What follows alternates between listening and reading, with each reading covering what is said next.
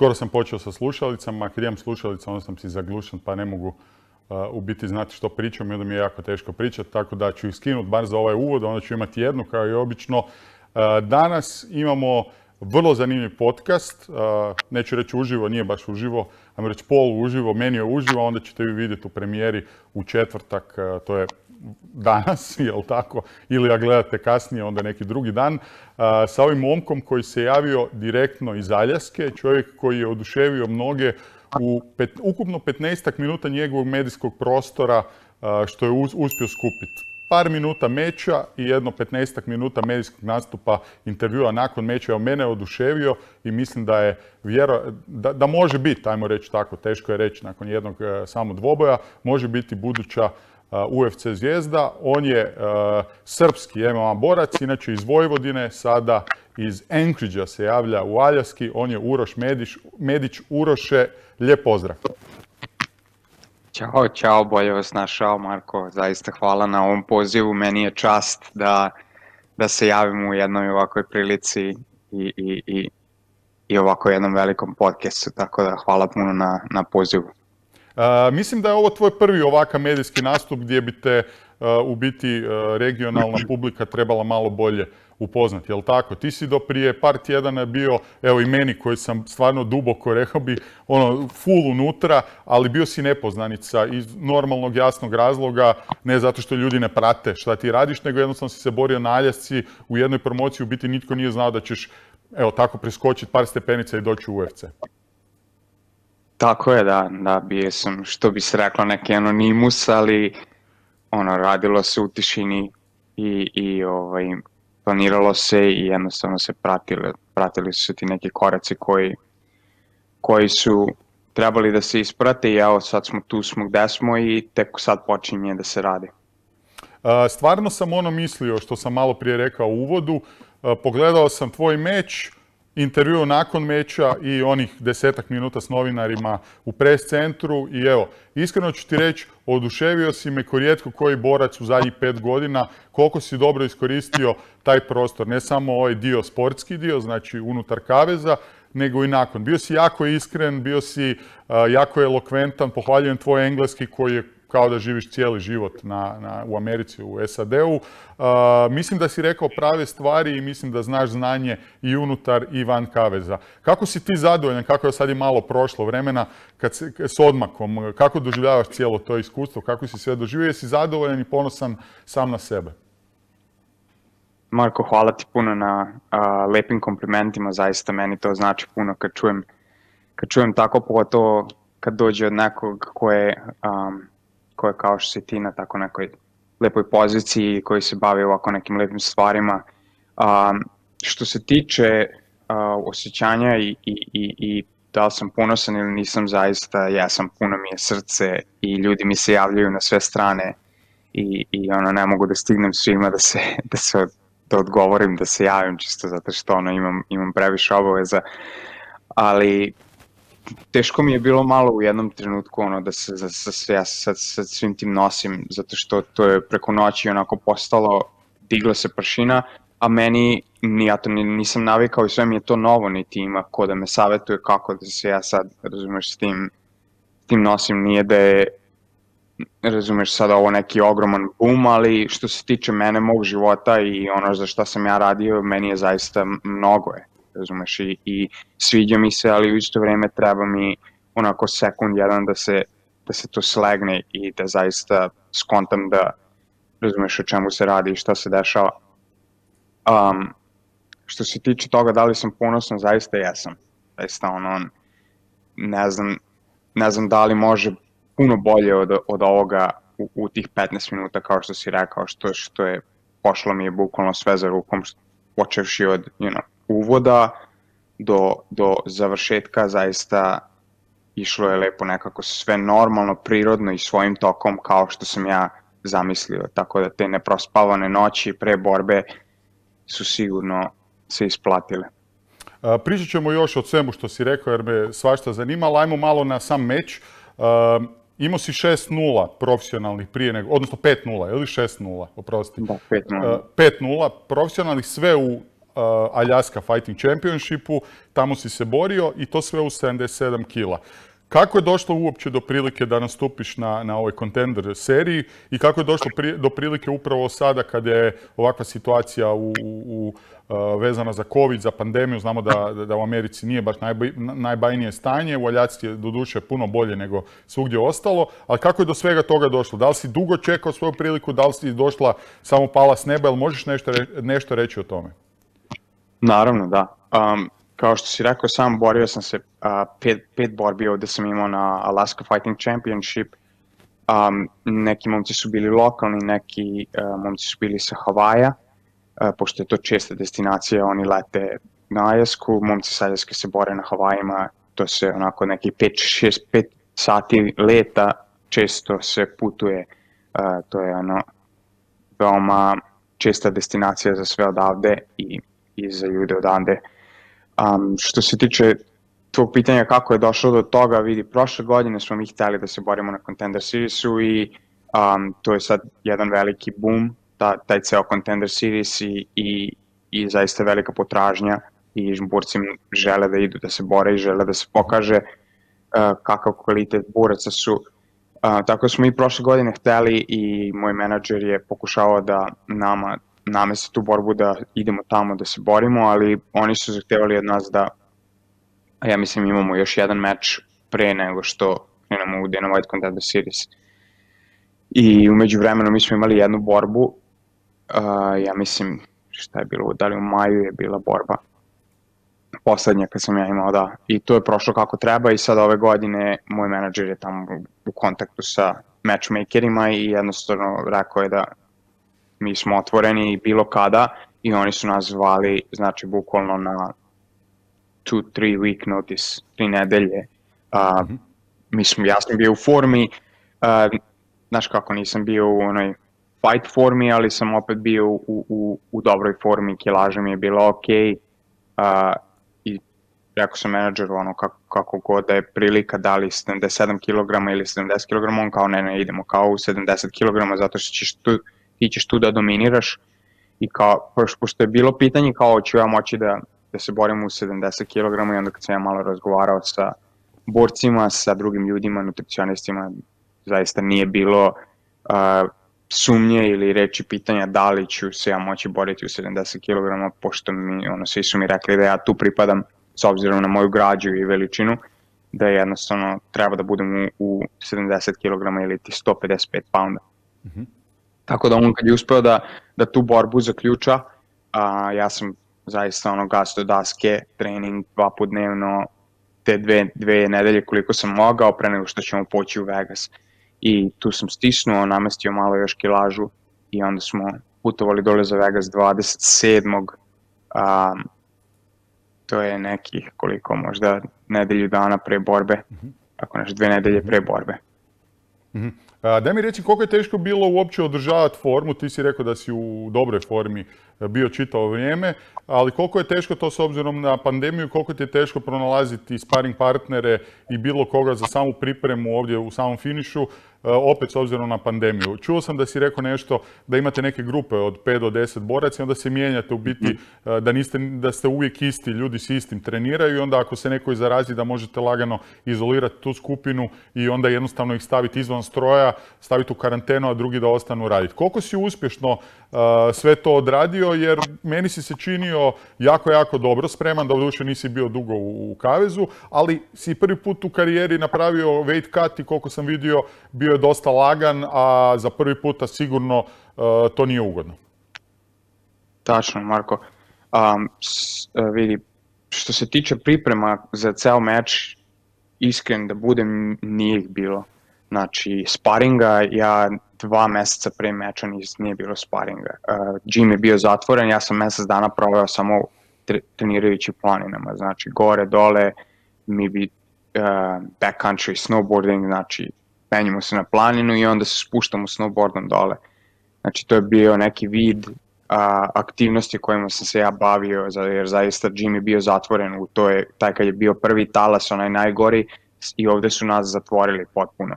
Tako da ja verujem da i moj protivnik bio u jednom periodu bez džima, ali ja sam pokušao da ostanem aktivan tako što ću ići u prirodu, jer zaista ništa drugo nije bilo da se radi, znači ili je bilo internet i Netflix i, i da se, razumeš, sedi kući, ili je bilo ide se napolje i, i u prirodu, jer nemaš zaista šta drugo. I onda sam ja provodio jako puno vremena napolje. Čim je pandemija počela, kad su nama najavili da će da zatvore kao close down the state, uh, restorani, biznisi, džimovi i to sve, uh, ja sam otišao i od drugara kupio onaj splitboard, uh, ne znam da li znaš šta je splitboard. Znam, znam, kako ne, da. Eto, otišao sam kod drugara da i kupio od njega to, ja rekao sad će da zatvore sve, ja nemam zaista šta da radim, još uvijek imamo dovoljno snega da se, da se vozi snowboardi, tako da, tako da ja sam odmah počeo time se bavim, pošto ja sam uglavnom moje vreme provodio u ski resortu tokom zime i ski resort su zatvorili i ja rekao pa idem ja u backcountry i to mi je ono bilo nešto najbolje što sam uradio zaista, sam se toliko dobro proveo u prirodi, imam malo video sam možda snimaka na mom Instagramu ili mhm. Facebooku, ne znam da nemam na Facebooku, ali imam sigurno na Instagramu, dosta smo vremena provodili u planinama i zaista neke ekspedicije smo imali što ono ne bi ne znam da li bi ikad se posvetio tome da nije bilo cijela ove pandemije. Tako što se tiče tih par meseci pre borbe, ja nisam imao nikakvih treninga, nije bilo sparinga, nije bilo trčanja, nije bilo ništa, ali bilo je taj neki vid uh, kardija gde se penje u splaninu, sve sa opremom, sa torbom, tako da je ono dobar workout, što bi rekao. Uh, što se tiče tih par nedelja uh, do borbe i mesec dana otprilike pre borbe, tu, tu je po, otvorio se naš džim i počeli smo s treninzima i kao što sam rekao, bio je taj neki um, časovi, ti su nam bili kraći, tipa 45 minuta do sat vremena i imali smo taj bubble gde po 10 ljudi u grupama trenira i ako se, kao što si rekao, nešto desi jednom čoveku iz te male grupice, onda cijela grupa napušta i ide u karantin dok se ne reši ko je i, i ko nije uh, bolestan i šta se događa. Tako da, to je, uh, to je nekako bilo ti prvih mesec dana posle otvaranja svega, uh, kad su nam rekli kao možete, ne znam, 25% kapaciteta u restorane, 25% kapaciteta vamo tamo, tako da smo mi nekako lagano počeli i onda sam ja uh, vratio se nazad strength and conditioning i, i, i počeo brazilsko jiu-jitsu i ponovo sve i ovo nanovo što bi rekao. Um, Tako da ta, taman tih nekih mesec dana sam imao da malo treniram, ali nažalost nije bilo sparinga i nije bilo nekih ozbiljnih priprema. -hmm. I koliko ti je to u, samom meču uh, činilo razliku? Jer pet puta prije, i vjerojatno si imao i amaterskih mečeva, pet puta prije u profesionalnim si odradio pripreme, kakve takve, imao si sparing. Da li ti ovaj put nešto bilo drugačije, a i putovao si daleko i vjerojatno ste prolazili razne testove isto i tamo karantene u hotelima i slično. -hmm. Kako si se osjećao u samom uh, uh, kavezu? Vidi, bilo je drugačije dosta, zato što je a, potpuni ono drugačiji nivo, nivo takmičenja i, i iskreno bih rekao da sam se osjećao mnogo bolje na ovom nivou, zato što a, znam da smo svi morali da prođemo kroz te testove, kroz a, zdravstvene, medicinske testove, tako da prethodno ono, a, zapitaš se često, razumeš, ja ne znam da li je a, sve legitimno, da li je ovaj momak prošao kroz sve ove testove koje je trebalo da se prođe, um, uh, nisam znao kako, kako idu weight cutovi, da li će to biti dobro ili neće. Um, dosta tako tih nekih sitnica koje su igrale veliku ulogu, a, a s kojima sam ja ono kao idem pa šta bude biće jer jebi ga, to mi je prilika moja, razumeš. Tako, um, što, se, što se više bližilo i, i, i kako je dolazilo vreme da se uradi zapravo taj weight cut, ja, ja imam tih par doktora što pratim tu po Instagramu i ja se javim ovom jednom momku, on je iz Italije, doktor Mateo. I on živi u Los Angelesu i radi sa Marvin Vittorijem. Mm -hmm. I on je Capo Nutrition. I ja se njemu javim, doktore, situacija je ovakva, ja se borim na Contender Seriesu, o, meni treba pomoć, ja zaista ne znam tačno šta ja radim. I to je bilo, to je bilo nekih 9 dana pre borbe, a ja sam bio 170 pounda, znači 15 pounda to go. Uh, koliko je to kilograma ja 7 i po, 7 kila otprilike, 7, pola, da. i 0,45 pa, da. znači pola otprilike. Pa da, eto. I, i on meni kao, ok, nije problem, rešit ćemo i krenemo mi tu, on ima tu neku aplikaciju i on bukvalno od, iz Kalifornije ukuca u kompjuter šta ja treba dnevno da jedem, ja kad ustanem i, i odem do WC-a, ja ukucam moju kilažu i na osnovu toga on meni dan planira. I mi smo na vezu, non stop pričamo kako, šta treba da se radi i on mene vodi kroz taj ceo proces, umeđu vremenu ja treniram i tih prvih nedelju dana priprema ja bukvalno pretreniram sebe, ono, znači ja sam pa ustajao iz kreveta i ne mogu, teško mi, sve mi teško, spava mi se, bukvalno onaj overtrain što bi rekao. Mm. Totalno sam grešku onu početničku napravio, ali ja sam bio toliko uzbuđen i idemo, idemo pun gas, znaš, te, uz, u, wrestling, pa uveče striking, pa ujutru sprintevi, pa uveče brazilska jiu-jitsa i ono, nema, nema odmora, razumeš, ja samo pun gas, pun gas, ti si, to je ono, i big no, što bi rekli ovde. Da, pa, ne, često, ne može... često je u treningu manje da. više, tako kažu, jebi ga, da. Da, pa da. I ja kad sam došao u UFC institut, oni kažu kao everybody is notorious for overtraining, so don't beat yourself up, everybody are... I, i tako su mi oni malo olakšali kad sam čuo da nisam jedini koji je napravio takve greške. No, uh, vratimo se na to, tako da to spremanje, sve je bilo nekako s brda s dola, i poređenju sa prethodnim mojim mečevima nije da je a, mnogo bolje ili gore bilo, jer ja zaista nisam toliko iskusan što se tiče tih samih priprema, jer kao što sam znaš, ipak je velika to nauka i, i ceo taj science behind, behind the sport mm -hmm. i mhm. toga ima jako puno i ako si u nekom velikom džimu gde imaš UFC boraca, oni zaista znaju dosta o svemu tome, kod nas nema toliko i te neke stvari sam ja morao sam da, da skontam. Uh -huh. uh, protivnik sam, E, da, ostavimo malo na, na, na tvojoj kilaži. Koliko na kraju si se onda mučio? Jer meni se iz moje perspektive, kad sam te gledao, stvarno izgledalo kao da si iskusni profesionalac u, koji već ima 10 mečeva u UFC-u. Krenuo si lagano, ispipo distancu, ulaz, izlaz, koji kik, gledaš ga, proučiš ga, pa ga načneš malo nogama, kikovima, pa onda rukama. Stvarno izgledalo školski, prvo kao da radiš to jako dugo vremena, drugo izgledao si jako mirno, staloženo, koncentrirano, nisi srljao. Čak i jednom kad si ga rušio sa middle kickom, onda kad se se digli si opet uzao si vremena, nisi uh, srljao i opet ga, ga riješio.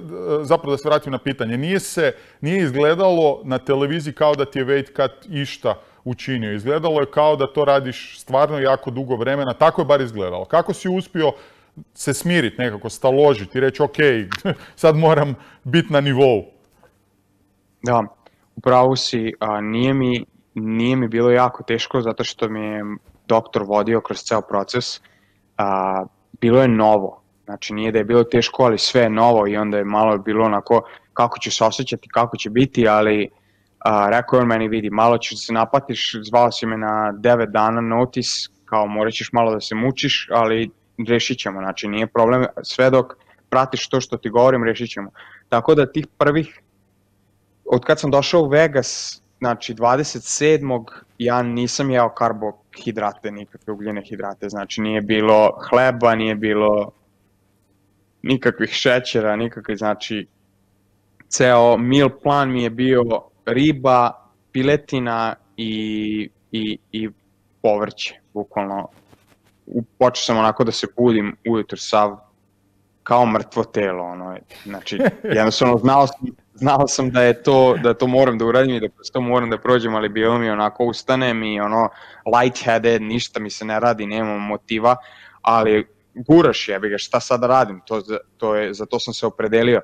Tako da smo mi kroz to pustili na 164 i sa 164 mhm. smo mi odradili weight cut gde nije zaista bilo puno problema. Znači ja sam um, stavi onaj sweet sweat ili ne znam da li znaš šta je to, kao krema, znam, znam, namažeš znam, na tijelo da pomogne da se, pa da, stave to, sauna suit ili sauna odelo i bukvalno za 45 minuta workout ja sam izbacio 5, 5 pounda vode, znači sa 164 ja sam bio na 159 uh, i onda sam pio malo nekog za hidriranje, prespavao, ujutru kad sam ustao ja sam bio oko 158 i odradili smo dva ona beta kao Epsom Salt Bet i mhm. odradili smo dva ta, ja sam bio na 155 i slikanje weigh-ins i ja sam vratio se da jedem i pijem i ušao sam na meč 173.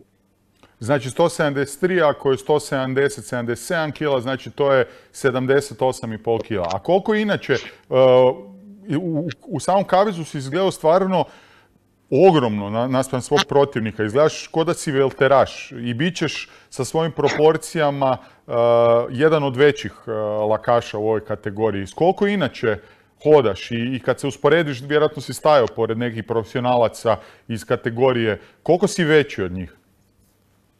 Pa, ne znam, znaš kako, meni je trener, meni trener kaže uh, da imam uh, small man kompleks, on meni kaže, je zato što ja stalno komentarišem kako su drugi ljudi veliki, a on meni kaže, ti si jedan od najvećih uh, u lakih kategoriji, kažem, ne, ti možeš da počneš da obraćaš pažnju na to, ne možeš da imaš taj kao small, small person kompleks, mm -hmm. uh, zato što ja ne primetim sebe koliki sam, ali dobio sam tipa reakcije, uh, kako se zove, Omari, momak sa koji, mm -hmm. on je sad se borio sa Chris Weidmanom. Mm -hmm. uh, mi smo bili u UFC Performance institutu i pričamo sad, naš, on je tamo da gestan, ovo ono, pri, raspričali se malo i on meni kao, pa kao, u kojoj kategoriji se ti boriš i ja rekao pa kao 155 kao lightweight i on meni kao znaš kao 155 i uglavnom dobijem tu reakciju ljudi mi kao wow, kao ti si veliki. U to je, to je uglavnom re, reakcija koju dobijem od ljudi uh, kad, kad im kažem da se borim u 155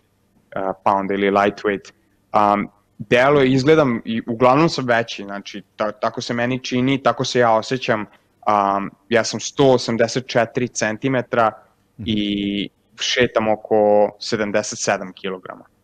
Pa dobro, ja mislim da je to u biti idealno za, za laku kategoriju, mislim da je to savršeno. Ja mislim, Eto, jedno da. što si, ja visok si, očito imaš te, to se zove vretenaste mišiće, što je super jer takvi ljudi lakše skidaju, čini mi se, barem bilo je primjera kroz povijest da su takvi ljudi baš čak i visoki, još veći od tebe uspijevali spustiti u laku kategoriju. Mm -hmm. Kasnije su se ipak morali s vremenom dizati, jer što si stariji, to nabaciš više mišićne mase, pa ti je teško. Ali ja mislim da je ovo za tebe idealna kategorija. Nego da se okrenemo samo meću. Uh, tebi se i protivnik, je tako, promijenio? Ovaj momak je u zadnji trenutak uletio i koliko sam čito, do zadnjih trenutka se nije znalo da li ćeš ti uopće imat uh, meč ili nemat. Što ti prolazilo u glavu, kroz glavu uh, dok se to sve izdogađalo i uh, koliko si se uopće mogao sprema za specifičnog protivnika s obzirom da i jedan i drugi nisu, ne znam, jako toliko poznata imena da sad možeš napraviti, ne znam, neku posebnu analizu. Kako je to izgledalo? Pravo si da, pa vidi, do poslednjeg tog momenta ja nisam bio siguran šta će biti i kako će biti, pogotovo zbog tog pandemije, COVID, uh, weight cut, short notice, znači ja sam stalno razmišljao, jaj, hoće li ovaj momak uspeti da prođe sve, da prođe vagu, da prođe uh, COVID testiranje, da, da se pojavi na meču, zaista je bilo pitanje celo, znači kroz ceo proces i, i meni menadžer kad je, kad je kontaktirao, imamo, kažem, momka, Taylor Kellens, neki, ja rekao, nema problema, zaista nije bitno, kogo daje, ovo je naša prilika, zaista ne, nisam uopšte ni pitao ko je, i, i ni moj menadžer nije pitao ko je, samo kaže, odmah je rekao yes, kao nema problema, kogod daje, ja se nadam da se to njima svidelo tamo u UFC-u i tom matchmakeru i tako će i u budući biti, ja zaista neću biti probirljiv što se tiče mečeva, nemam nameru i hoću da se borim sa, sa nekim od velikih boraca u, u, u, u ovoj eri, to mi je neka ideja, uh, zaista ja nemam sad neke ogromne golove naš, pitaju mi ljudi kao, pa kao, je, je bi volao ti da budeš šampion ili ovo ili ono, zaista ja nemam, nemam trenutno takve golove, ali nisam imao ni golove da budem u UFC-u pre pet godina, znaš, nego se to jednostavno gradilo, kako sam ja rastao, rastu i moji golovi. Tako, tako da, a, što se tiče Taylor, on je odustao, ja ne znam šta se desilo. Ni, niko mi ništa nije rekao, niti sam ja pitao, znači niti ću da, da mu dajem bilo kakvo pažnje jer ne zaslužuje, znači šta god da se desilo, ne zanima me, ni, on je svoju priliku propustio. Uh, momak je uskočio na, ne znam, 12 dana notis, 11-12 dana notis, tako nešto. Znači njemu svaka čast, zaista ti da uskočiš, on se borio u, u Welter, mm -hmm. e, skinuo je kile, pojavio se kao profesionalac na, na, na vaganju, prošao sve testove, prošao vaganje, pojavio se na meču, uh, on je sam rekao kasnije da nije bio spreman, uh, javio mi se preko Instagrama u DM i rekao je, vidi, uh, hvala na borbi, ja zaista nisam, nisam bio previše spreman i za mene je ovo bio short notice i, i ja bih volao zaista da sve najbolje tebi i, i, i puno uspeha u budućoj karijeri. Ja sam mu isto odgovorio zaista, sam mu se zahvalio i rekao mu da se poneo kao jedan pravi profesionalac, pošto i jeste, zato što je ono došao na short notice, pojavio se, izašao u meč, pokušao koliko je mogao i videlo se da on zaista posle tog drugog minuta nije baš hteo da bude tu gde je.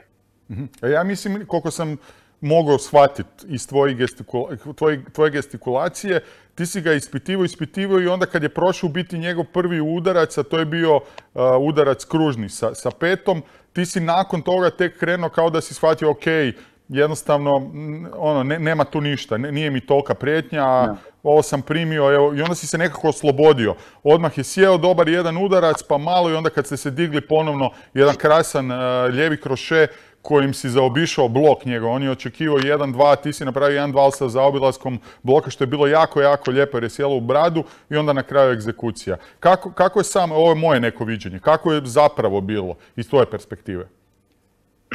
Pa vidi, mi kad smo se spremali, ja sam, mi smo pogledali par tih videa što je bilo na YouTube-u i da smo mogli da nađemo. I mi smo znali da je momak crni pojas jiu-jitsa mm -hmm. i znalo se da da baca taj kružni kik i pošto sam ja video snimak da je nakautirao jednog momka, znači bukvalno ocekom u glavu.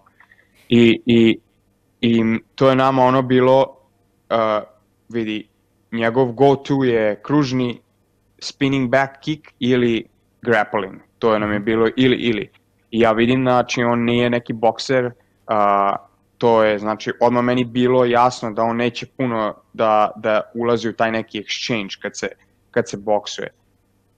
I meni je, ja i trener smo pričali o tome i ja sam rekao, vidi, idemo po tu nogu, prednju nogu, prvo po kik, i zato što on baca nogu jako i znači nama je bila ideja odmah je tu nogu da sečemo, da, da ga povredim ako mogu, da ga usporim, zato što je brz i kreće se bočno. I ja sam otišao odmah da gledam Michael Venom Page, uh, uh, još par boraca, ne mogu sve da se setim, uh, Thompson, Wonderboy, znači svi ti momci koji se kreću bočno, ja sam gledao uh, taktiku protiv njih. Znači, borci koji su se borili protiv njih, kako su se ponašali, šta su radili da je efikasno.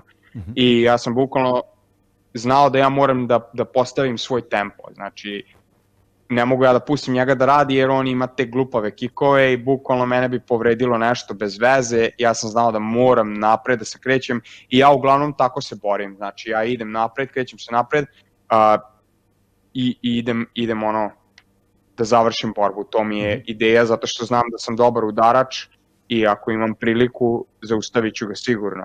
Mm -hmm. I mogu da, ono, mogu da primim udarac, nije mi problem u kickboksu sam dosta ono, zaista se osjećam komforno, što bi rekao. Tako da sam ja počeo da se krećem odmah napred i on je bacio taj kik i malo me pogodio iza u glavu ili nije bilo strašno, ali zaista ono iznenadio me jer je bilo brzo jako. Mhm. -huh. I tu sam ja odmah počeo da postavljam svoj tempo mhm. -huh. i, i video sam da drži ruke visoko, pretpostavljajući da je on gledao moje borbe i video da imam dva, tri završena kika sa high kickom. Mm -hmm. Znači on je očekivao da ja, da ja idem gore sa mojim kikovima i tako da sam ja ostao dole leg kick i mid, znači section, telo. -hmm. To sam gađao i jednostavno je sve je išlo kao odmazano što bi rekao Presjeko si ja ga, oprosti, na... oprosti Uroš, presjeko si ga s kikom, on se savio, ti si tu vidio svoju priliku, krenuo si na ground and pound, u tom trenutku si, uh, tu si me pozitivno iznenadio, zato što nisi išao po završetak, nego si ga pametno, vidio si da nije zreo još, pustio si ga gore, išao si iz početka i vrlo brzo je uh, stigao kraj, jer Zašto to kažem? Borci koji su neiskusni poput tebe i s obzirom da si imao few weeks uh, short notice uh, meč, oni bi krenuli uzbuđeni, evo ga, sad je tu je moja prilika, ispucali bi se i ko zna šta bi bilo. Uh, gdje si tu, kako si uspio naći tu nekakvu mirnoću u tom trenutku i reći, ok, pustit ću ga, idemo ponovno? A, pa jednostavno, konforan sam dosta na, na, na stand-upu mm -hmm. i, i tu, tako nekako razmišljam da ne, e, pokušavam da se smirim Razumeš, šta god daje, samo duboki uzdah i, i polako.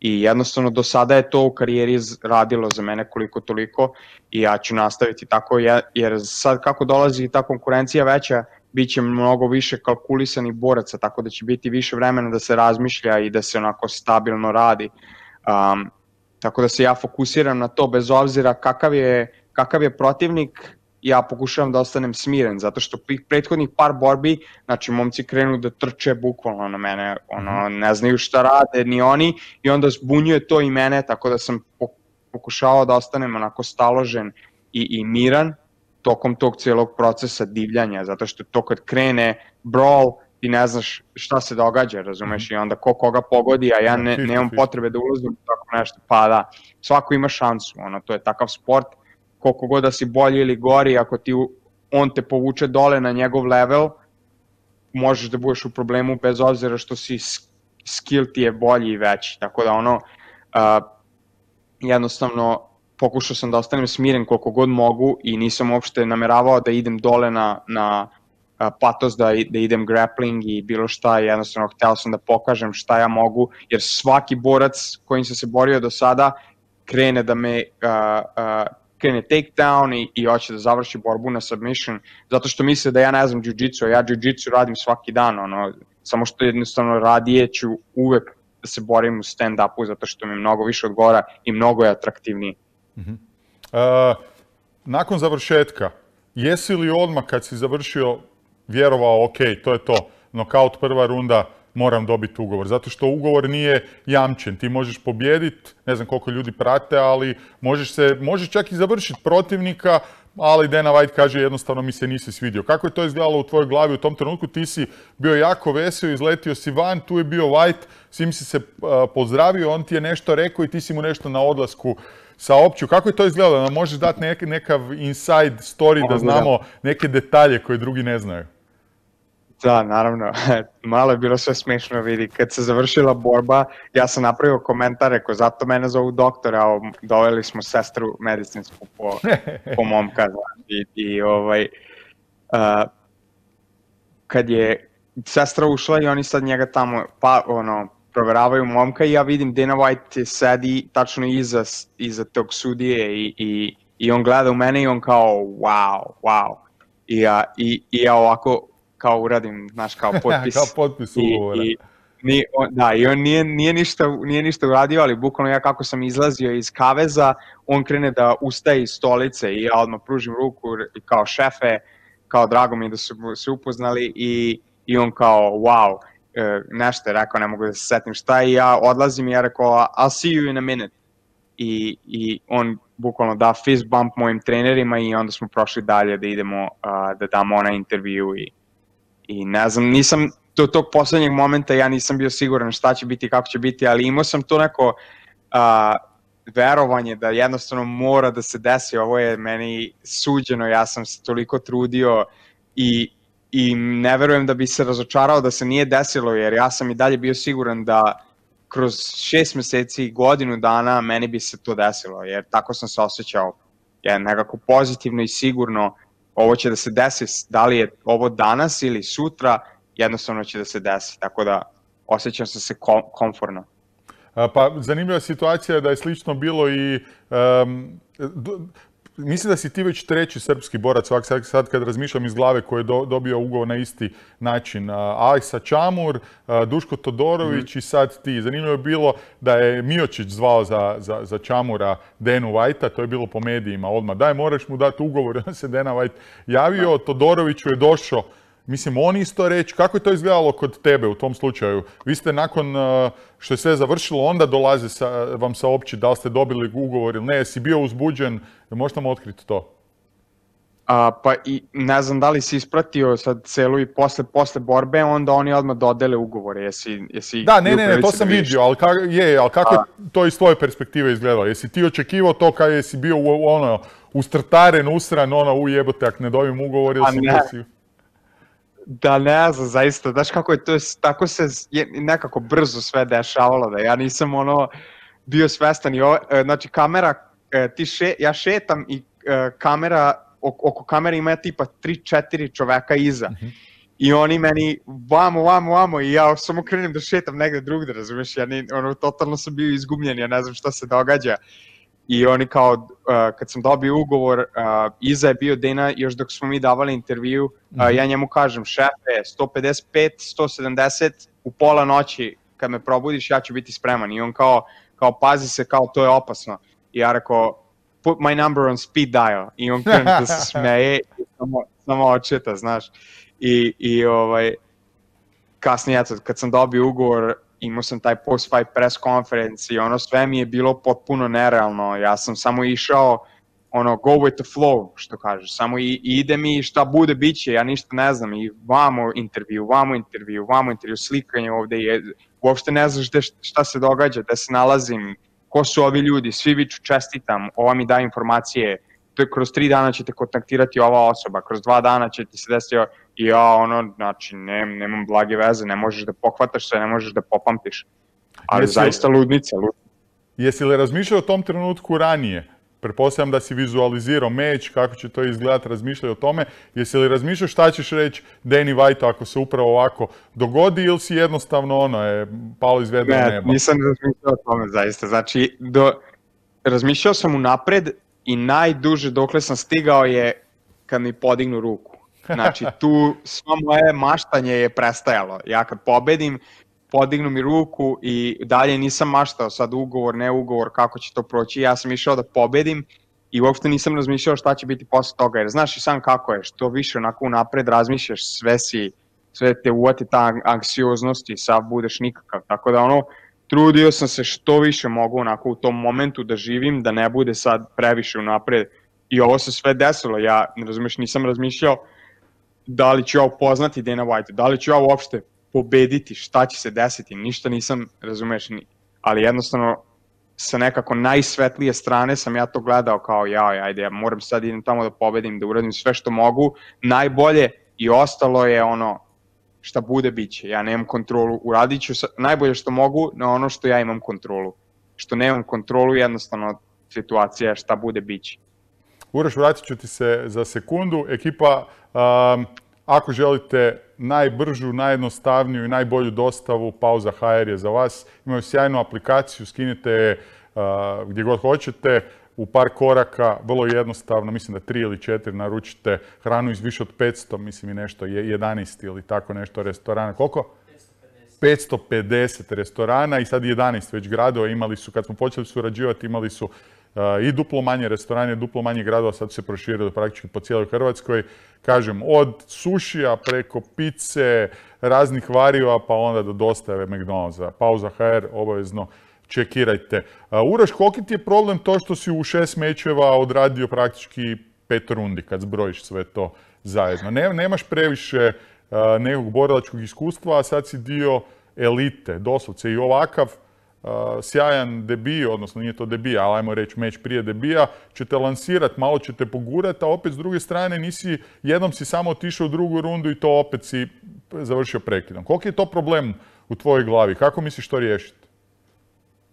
Pa vidi, nije, da mi predstavlja neki problem, ja mislim da u tim kasnijim rundama ću da radim još bolje nego u tim, tim početnim fazama, zaista se osjećam, se dobro i snažan sam, tek sada ću imati priliku da odem u taj UFC institut i tamo će mi reći kako i šta, pošto oni imaju testiranja koje su za nas borce besplatna i tako da ja evo kroz dve nedelje ja idem dole na, na, na ta testiranja i na tome da se radi. A, ja mislim da ću onda tek da odskočim na toj lestvici boraca gde je moja snaga i kondicija um, i zaista sam uzbuđen, mislim, vidi, ja nemam nameru da se borim previše u tim kasnim rundama. Moja ideja je, ako mogu da se borim dve runde i jednu rundu, onda ću tako da se borim, razumeš, sve ako mogu da prekinem, naravno da to neće biti moguće, ali što više bude morac, boraca mogu da prekinem, to lakše meni i moje dalje karijeri, razumeš. Mm -hmm. Ali zaista uzbuđen sam da isprobam i ja da vidim kako će, kako će moje telo da reaguje u tim kasnim rundama, kao što sam spomenuo na tom post-fight press conference. Jednostavno, to mi je ono novo i zaista zanimljivo da, da, da, da se testiram i da idem, idem do tog nekog novog limita i, i i da se pokažem u tim kasnim rundama. Uh -huh. Uh, ostaješ sa, mislim, znam da ostaješ sa svojim Anchorage timom, ali ostaješ sa ovim uh, doktorom koji ti je radio prehranu uh, i hoćeš nastaviti surađivati. I mislim da je pametno. Odradio je čovjek sad u zadnji čas ovaj odličan posao. Kakav je uopće tvoj tim? Gledao sam malo popis boraca, profesionalaca. Mislim, glupo bi bilo reći da su to sad profesionalci koji su dio UFC ili Bellatora, nisu baš. Da li ćeš za buduće kampove možda ići negdje drugdje još malo uh, eksplorat, jer pokazalo se to kod takvih manjih timova da je to dobitna kombinacija, da u biti moraš ići malo ipak vidjeti konkurenciju i vidjeti gdje kako stojiš i na sparinzima. Jednostavno moraš dobivati iskustva sa raznih strana ako hoćeš biti u konačnici kom, uh, kompetitivan onim najboljima. Tačno tako, Marko, upravo si 100%. Uh, vidi, to je jedna od stvari sa kojima sam ja poslednjih dana imao zaista neke muke, onako sam sa sobom sedeći i, i razmišljajući. Uh, ja sam otišao od moje porodice pre pet godina da bi nešto uradio što mogu, razumeš. I sad je došlo do ti situaciju da posle pet godina gradeći ta neka prijateljstva, gradeći uh, relationship sa tim timom i, i building uh, trust ili kako da razumeš kažem nekako na, na, na taj način mi je povjerenje, lakše. Povjerenje, već, jasno, da. Pa tako je, da. Poverenje neko koje se gradilo već, već tih pet godina, razumeš, jer velika je ovo država i puno jako ljudi ima i ono nije to isto kao u našem regionu gde se nekako ta konekcija lakše ostvaruje, gde se lakše onako poverenje neko ostvaruje i zaista puno ovde ljudi ima i naći neki šaku ljudi kojima možeš da veruješ nije baš toliko lako, pogotovo za mene neko ko nije ovde odrastao i, i proveo sam, kao što sam ti rekao, od kad sam stigao kući ovde i u svoju sobu i u svoj krevet, imao sam vremena da razmišljam kako i šta će biti. To je jedan zaista divan tim i divni ljudi koji su meni ono dosta uh, pomogli i sad sam u toj nekoj poziciji gde ja znam da se približava da ću ja eventualno morati da, da idem dalje, zato što jednostavno a, da bi postao šampion moraš se okružiti šampionima, to je neminovno. To je jednostavno ako te, mora ako da se te, desi. Ako te mogu prekinuti na sekundu, da ti olakšam, vidim da ti je to teško, jer te potpuno razumijem, jer si se očito emotivno vezao za te ljude, a i u intervju si rekao da u tih, ne znam, pet godina koliko si s njima, da nijednom nisu rekli ne i da si upravo tamo našao svoju neku drugu obitelj među tim borcima. Ali, oni ako jednako im je stalo do tebe, oni moraju shvatiti da je otprilike njihov domet tu, a da je UFC negdje gore. Jebi ga, to je tako. Ako ti žele najbolje, mislim da je u redu i s njihove strane razumjeti tebe koji moraš ići jednostavno tvoj tvoj san, nećeš ga ostvariti ako ostaneš na tom mjestu. Mislim, možda hoćeš, nemoj me krivo shvatiti, ali uh, UFC svakim danom je sve bolji i bolji i samo kad ti pogledaš rezultate, stvarno ovi najveći timovi imaju 90% prvaka.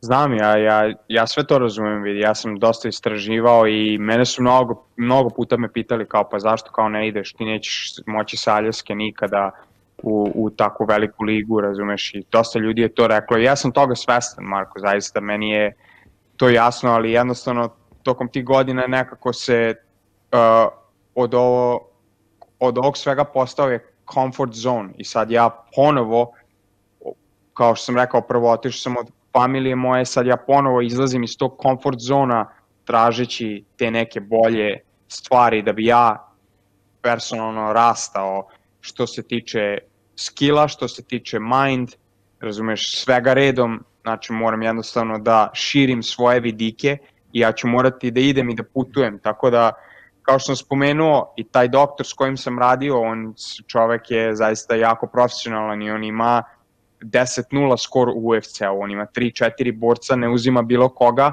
a, on je mene ispitao, proverio ko sam, šta sam i on je rekao ok, ajde da probamo, ne mogu ništa da ti garantujem, hoću da vidim i kako se ti odnosiš prema, prema radu i svemu, tako da je on odlučio da radi sa mnom i, i ja i on je mene pozvao dole u Kings MMA i, i, i u Kaliforniju da idem da ga posetim na Kod dve nedelje, tako da ja.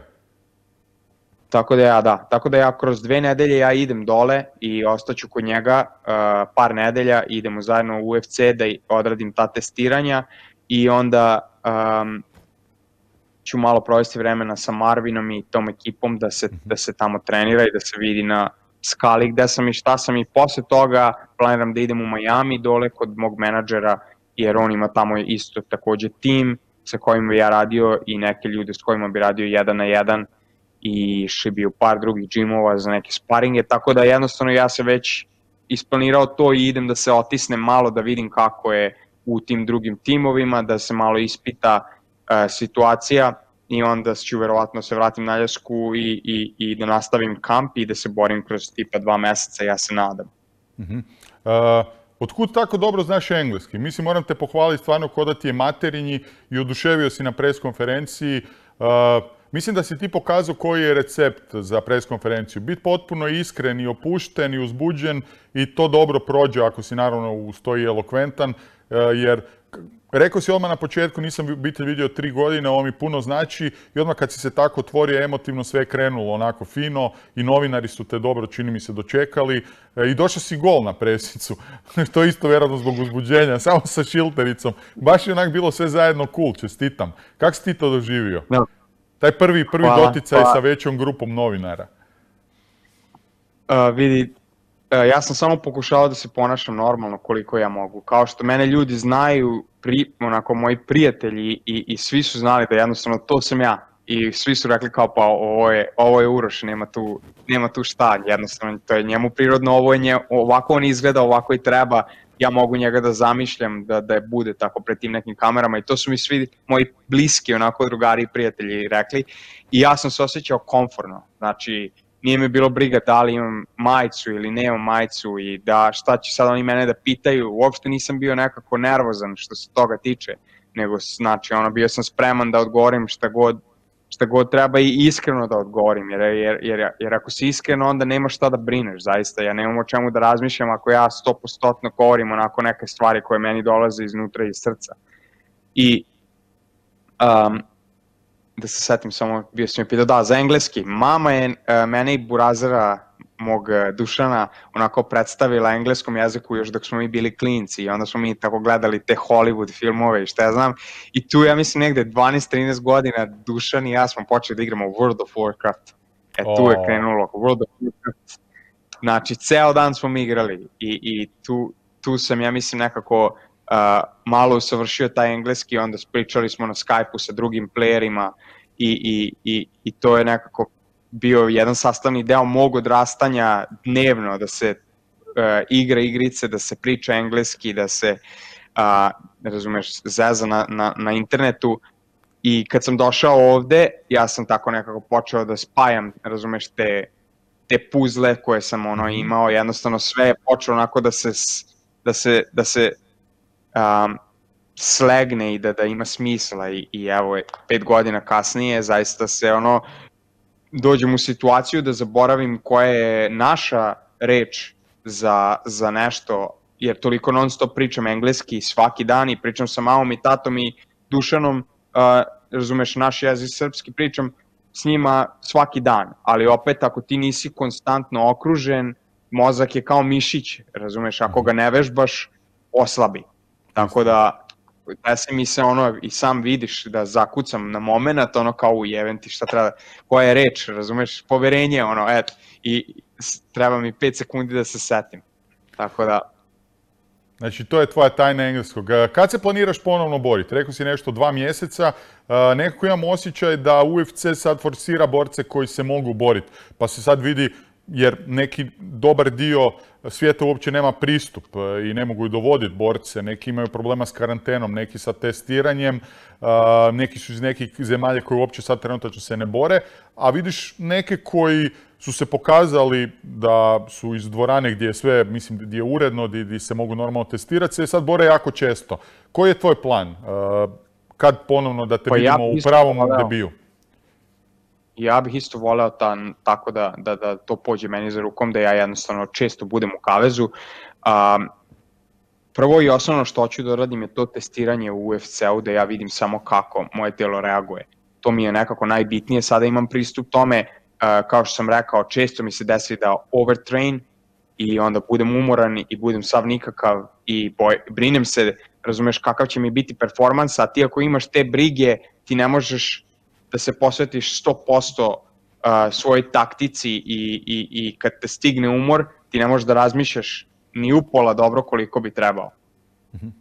Tako da, uh, zaista, kroz koju nedelju ja idem dole u Kaliforniju, odmah krećem sa tim pripremama, odmah krećem sa tim testiranjem, oni će mi dati dobar breakdown, uh, šta treba da radim, kako da, da se odnosim prema svom telu i znači odmah bukvalno kroz mesec i po dva dana ja planiram da moj menadžer uh, zakaže neku borbu sa njihovim matchmakerom i posle toga, razumeš, ako to dobro prođe isto kao i ova borba, odmah u sledeću, jer ja zaista nemam, nemam problema da, da čekam, razumeš zašto bi čekao, ja sam, na, na ovo sam čekao pet godina sad, kad sam u prilici ja ću se boriti što više bude mogao.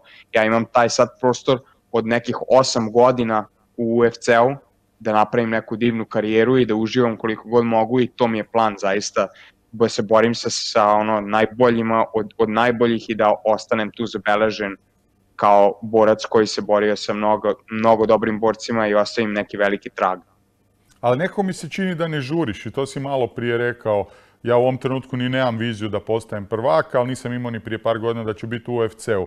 Što misliš, di si sad trenutačno po aktualnoj kvaliteti koju sad posjeduješ i iskustvo koje posjeduješ, fizikalije, spremu, sve, gdje ti je trenutačno da. mjesto? Mislim, laka kategorija je dosta teška. Mislim da uz Welter ima najviše boraca u UFC, upravo te dvije kategorije. Stvarno ogroman broj, velika konkurencija, mislim, sam top 15 je jako impresivan. Gdje misliš da si trenutačno?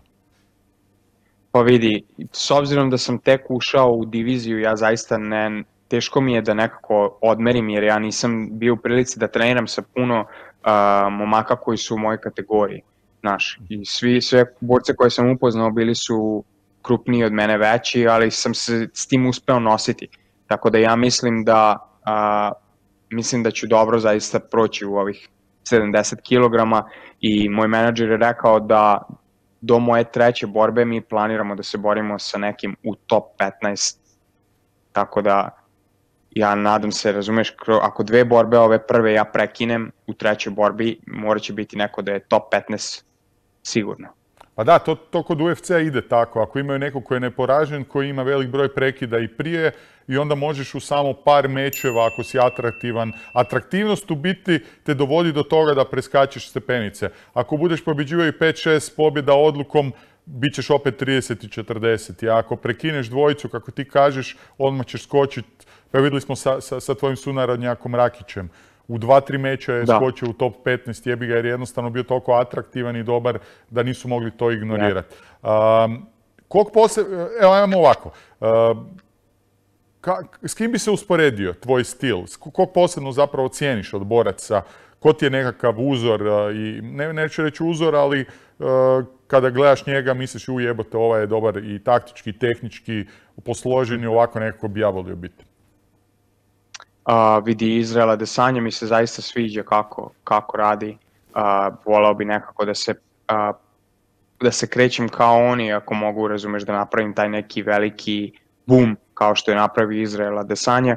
A, a što se tiče a, samog poređenja, ja mislim da zaista imam jedan neobičan stil, zato što, a, kao što sam rekao, imam to kickbox a, iskustvo i da imam nameru zaista da bacam da bacam te neke opasne no, nožne udarce u budućnosti, znači u sred hand exchange ja imam nameru da sečem visoko nogom, razumeš, da to će biti ako pogodiš, razumeš, face, face palm, razumeš, ima da padaju kao drveće.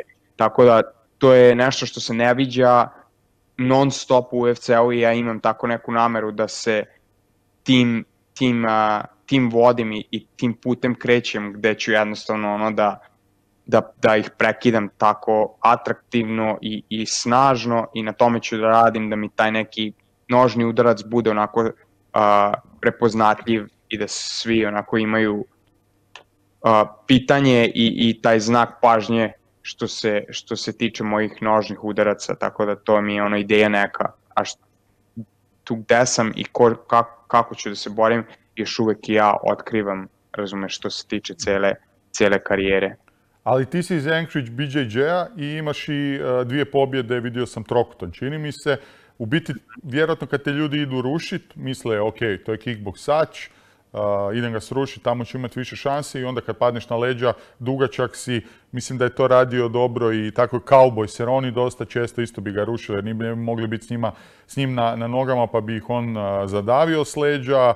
E, ima, ima, ima puno, uh, Stefan Struv, dosta sličan, dugačak čovjek, uh, stojkaš isto kad bi ga rušili, onda bi ih on završavao s trokutom. Je li ti to specijalka neka ili kako se snalaziš na podu? Vidi, desilo se, uh, um, nije da, da mi je specijal, mislim, ono, osjećam se zaista dobro i konforno što se tiče tih uh, trouglova i, i, i volim i moj trener uvek, uh, jedan od trenera, Brandon, kad god me vidi, samo mi ovako pokaže kao, kao trougao, znaš, i ono, mislim, ja gotivim i, i to mi je ono kao go to dosta puta, ali uh, to konforan sam na, na, na, na, na, u parteru i na zemlji E, dobro se osjećam, dobar tim imam kao što sam u nekom od intervjua spomenuo, mi imam ovde a, osam ili devet crnih pojaseva. Znaš, to je ipak jedan zaista veliki džim i, i ne, nisu oni uvek tu, ali kad se dešavaju velike promocije i kad se dešavaju seminari, razumeš, imali smo Lukas Lepri a, da dođe tri puta do sada, on je dečko a, pet, šest puta svetski šampion, razumeš, u brazilskoj jiu-jitsi. Zaista jedan level koji ne možeš baš da vidiš često. Level iznad svih levela koje sam ja do sada video. Znači svaki crni pojas izgleda kao ljubičasti pojas. Ono, mm -hmm. Zaista je čovek nešto drugo. Uh, tako da osjećam se konforno, um, uvek bi radije bio na nogama i, i, i, i boksovao i kickboksovao ako mogu, ali ako dođe do toga da smo na zemlji, zaista nemam problema nikakvih i ja na tome radim još mnogo i na rvanju i zaista hoću da budem onako kompletan borac koliko god to mogu. Uh, ubiće me ako te ne pitam, sad si dio UFC-a, imaš ne jednog nego dva kralja, jedan je Justin Gaethje, drugi je Khabib Nurmagomedov, uskoro će ukrcati međusobno šake i dobit ćemo samo jednog prvaka kog favoriziraš ili možeš kratko analizu? Mislim, prema ovome što sam do sad čuo od tebe, vidim da promišljaš ne samo površinski, nego i dubinski u ovom sportu, pa vjerujem da nam možeš dati jednu kvalitetnu analizu i ko misliš da će nakon tog pay-per-view eventa biti jedini kralj? -hmm. Vidi, ja imam zaista poverenja da će um, Khabib da ostane na tronu, on je vidi imaju dosta ulogu. Sad šta se izdešavalo u ovom, u ovom, nje, u ovom periodu, njemu je otac preminuo uh, i to je jedna zaista žalosna vez za, za ceo taj sport zato što je on toliko podigao boraca i toliko boraca su u UFC-u zbog njegovog oca. I mislim da je inače koliko sam ja ispratio na internetu zaista jedan jako dobar čovek onako od, srca dobar čovek bio.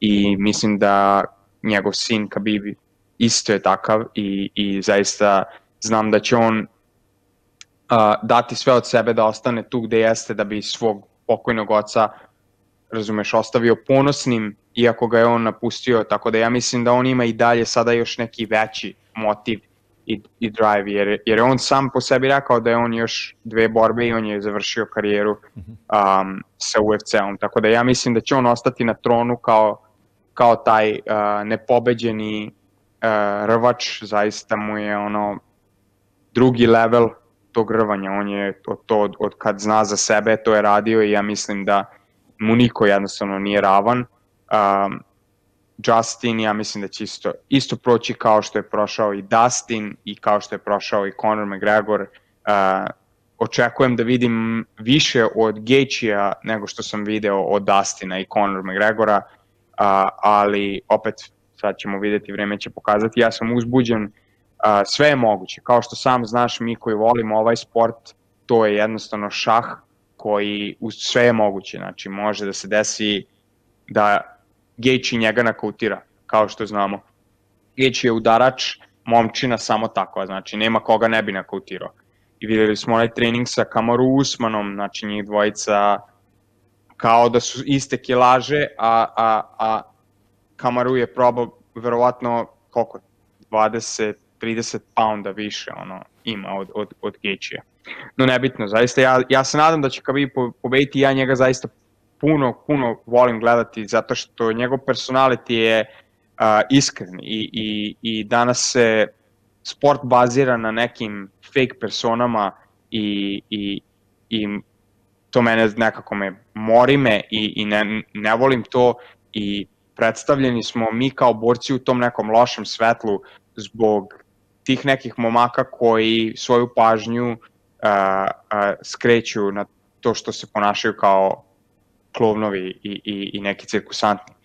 Vidi, ne mogu ja bilo kome da kažem kako on svoje biznis da vodi i kako da se uh, brendira i kako da radi svoj marketing. Očigledno se pokazalo do sada da ljudi više vole da vide tako neki show i, i ja to mogu da razumem, ali zaista moji lični onako uh, um, pozdravi i, i ja sam fan tih nekih boraca koji su onako iskreni i koji pokazuju taj neki uh, nivo profesionalizma i, i tako da zaista ću ostati uz Kabiba u ovom slučaju i, iako su jedan i drugi momak zaista profesionalni i lepo se ponašaju, um, ipak ja sam neki, da kažem, fan uh, Khabib Nurmagomedova. Očito nisi fan istog čovjeka koji je u istoj kategoriji koji ti, ko zna, možda jednom i ukrstite šake, zašto ne? Govorimo o Conoru McGregoru, prepostavljam da si na njega mislio i na sve što je radio Kabibu od uh, vrijeđanja na nacionalnoj vjerskoj osnovi, nuđenja viskija, pa onda bacanja kolica, pa uh, incidenata da. po noćnim klubovima. Mislim, silovanja, ne znam šta već nije bilo, jebi ga.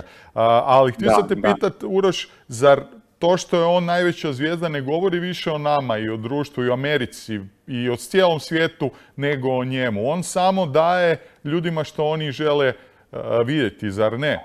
on je dan danas najpopularniji i popularniji. Tako da u biti mislim da, da, da to što to prolazi ne govori o njemu nego o nama. To je, to je tačno tako.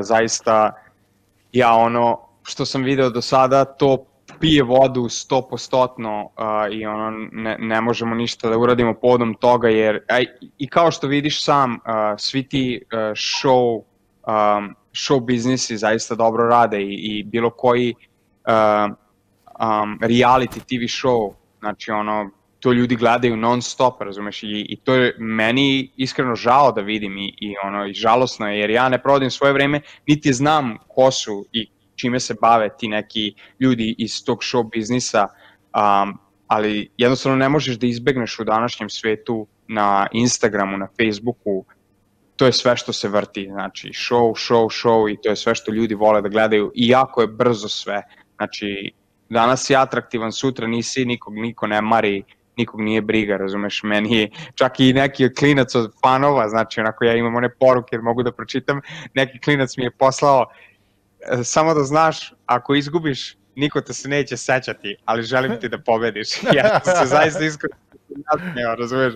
I meni nije bitno, ja znam ko su moji ljudi i koji će se mene ljudi brinuti i sećati uvek i od koga ja uvek imam poziv, da li pobedio ili izgubio, nebitno, razumeš? Tako da, bilo mi je smešno zaista da vidim tako nešto i ono, ne, neke negativne komentare koje sam video, uh, jedino sam video negativne komentare da su došli iz nekih naših vesti i čitao sam komentare ono ljudi kao kao pa kao uh, što, što pišete o MMA, mi smo kao hteli da čitamo o nekim naučnicima i, i o nešto pametno da pročitamo, kao vi nama ovde predstavljate ovog borca, razumeš? I onda isti ti ljudi odu i gledaju velikog brata ili ne znam, ja neki onako reality show koji je ono totalno bezvezan ili neki parovi ili gluposti ono koje zaista mene je sramota kad mi neko kaže kao da gleda to, ja ne, ne vidim dalje da se naša konverzacija odvija u bilo kom ono smislu, ja napuštam, znači ja se distanciram odmah, ti ako gledaš tako nešto, nemamo mi puno o čemu da pričamo, ono, tako da. Da, e, nažalost, ne, ne znam šta bih ti rekao, podržavam sve što si rekao, svijet funkcionira kako funkcionira, a ovi komentari mislim da, da ćeš morati stvoriti jednostavno s vremenom taj John obraz i te komentare jednostavno ne, ne John obraz, u biti da, da ćeš morati stvoriti oko sebe neki štit i ne obazirati se na komentare. Čim neko ide komentirati nešto tako, ono znaš da, da, da nema što pametnije raditi u životu, tako da bolite, bolite kurac za, za te ljude. A šta misliš o McGregoru kao, kao borcu i kako općenito gledaš svoju diviziju, tih top 10?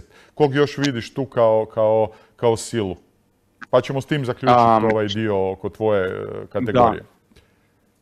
Vidi, uh, uopšte ne mislim da je toliko dobar borac. Znači, on je napravio karijeru odličnu. Što se tiče biznisa, ne znam da li je mogao bolje. Ali što se tiče njegovog skill seta, ja ne mislim da je on toliko dobar koliko su nje, tu priču celu naduvali. Znači, on je imao dobru priču odakle dolazi, šta radi, imao je dobar fan base i jednostavno imao je tih par match-upova koji su ga doveli tu gde je da se otisne razumeš, i, i jednostavno, a, na primjer, kada je osvojio tu titulu protiv Chad Mendesa, koliko je Chad Mendes imao week notice, ja ne mogu da se setim tačno. Jako malo, da, notice. bio je potpuno nespreman. Da. A i skoro ga je po prvu rundu da. je po meni Chad dobio i vodio u drugoj rundi. Tačno tako, tačno tako. Tako da, ja mislim da, znači, ono, to je moje mišljenje da se, malo su se njemu zvezde poklopile, razumeš, kao što su i meni, na primjer, sada Jer ja sam baš komentarisao to sa prijateljem, a, vidi, toliko stvari je moglo da se desi, da, da se povredim, da ne prođem vagu, da dobijem virus, da momak drugi ne prođe vagu, da drugi momak dobije virus. Toliko je, niz stvari je mogao da se desi, da se ovo što se desilo ne desi, a eto desilo se. Razumeš? Tako da isto iza njega napravio je neke dobre poteze, kalkulisane, dobrog menadžera, odradio je biznis prešao je igricu, bukvalno.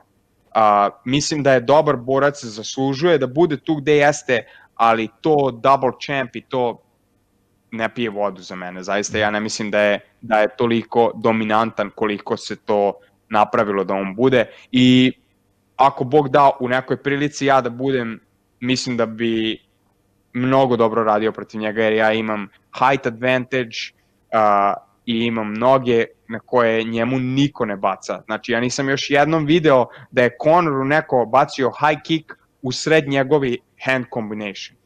Znači, to, bi ja, to je prvo nešto što bi ja uradio uh, protiv takvog borca. Znači, ako se dobro kreće rukama, na, povučeš ga, namamiš ga da krene da baca ruke i samo bum, veliki kick gore. Jer on drži ruke dole ovako, bukvalno, ja mislim da bi tu bilo, bilo prolaza malo.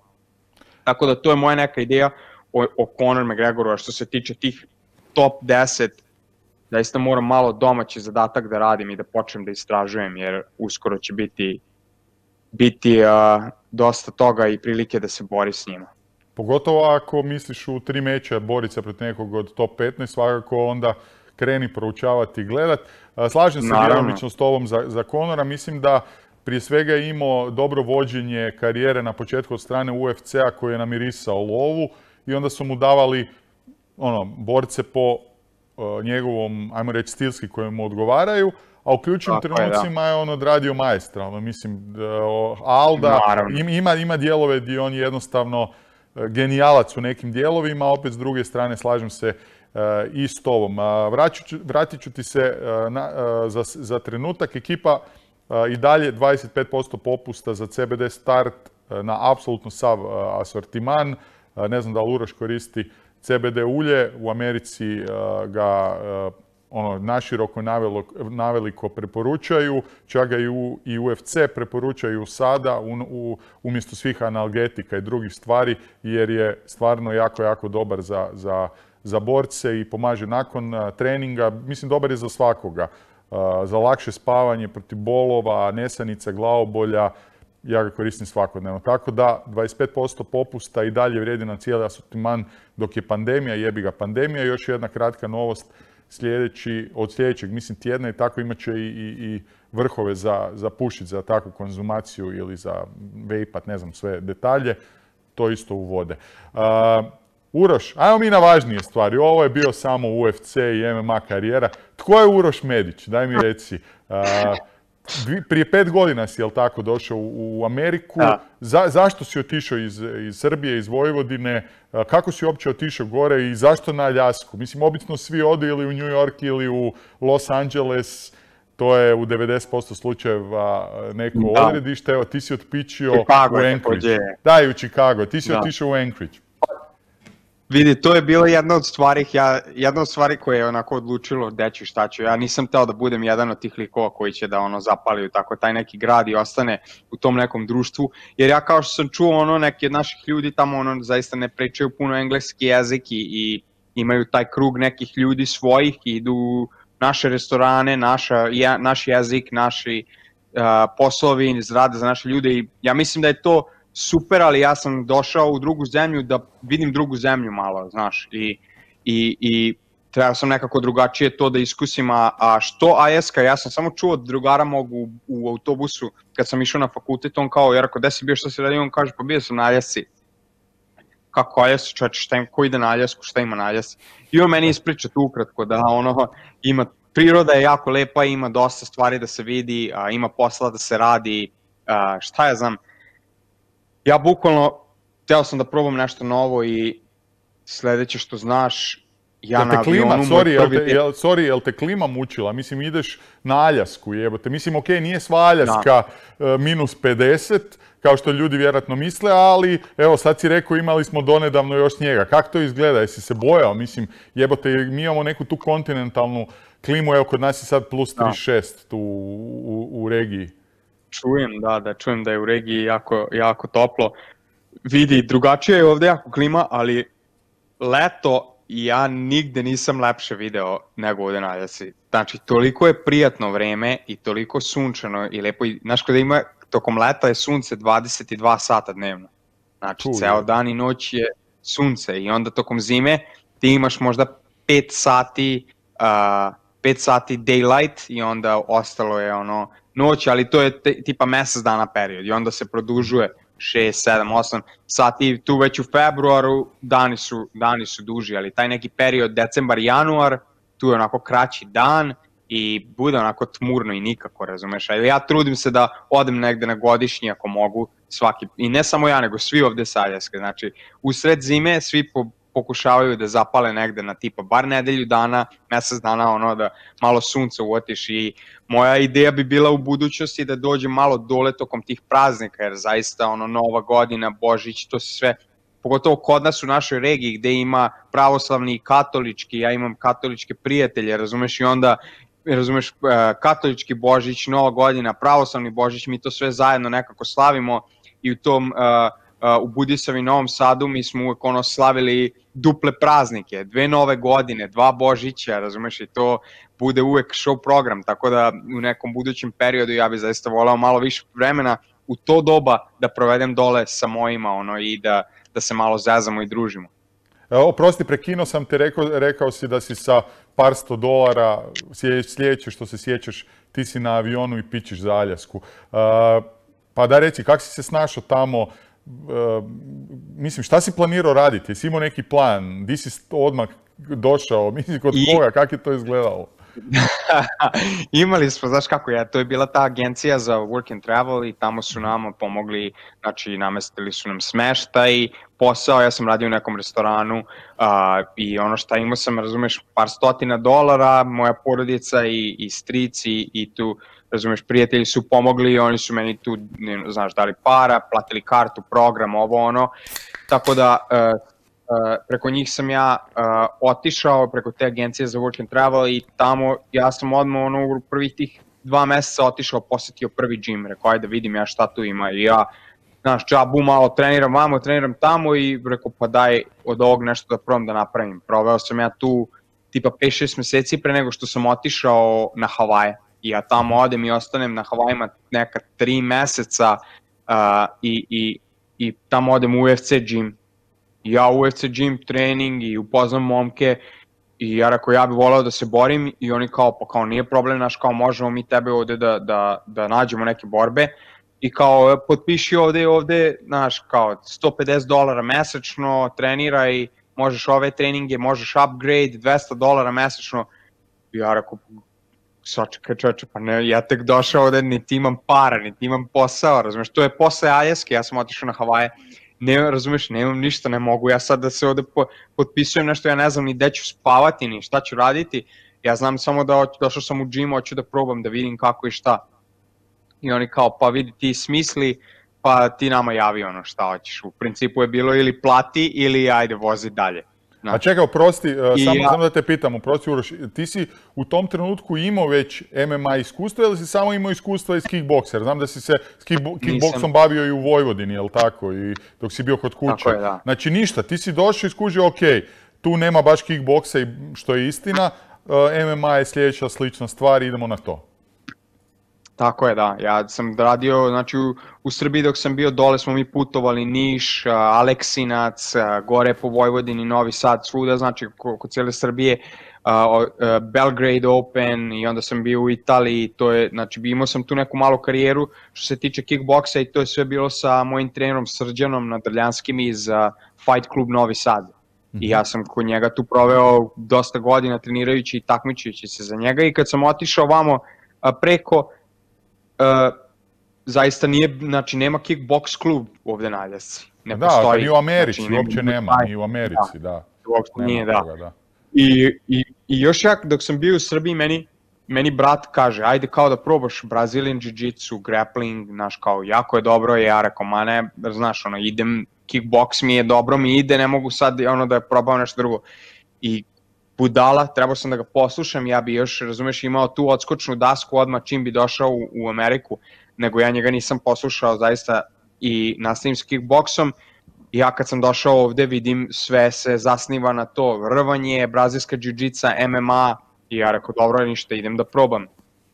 I, i kad sam otišao na Havaje, probam taj UFC gym tamo, uh, BJ Penn UFC gym, i to ne, ne pođe mi za rukom zato što jednostavno nije mi imalo nekog smisla da ja sad potrošim sve pare što sam uštedeo da bi proveo znaš, 3-4 meseca trenirajući tamo i, i ono, ne znam šta ću i kako ću, niti znam jasne, ljude, bilo jasne. koga.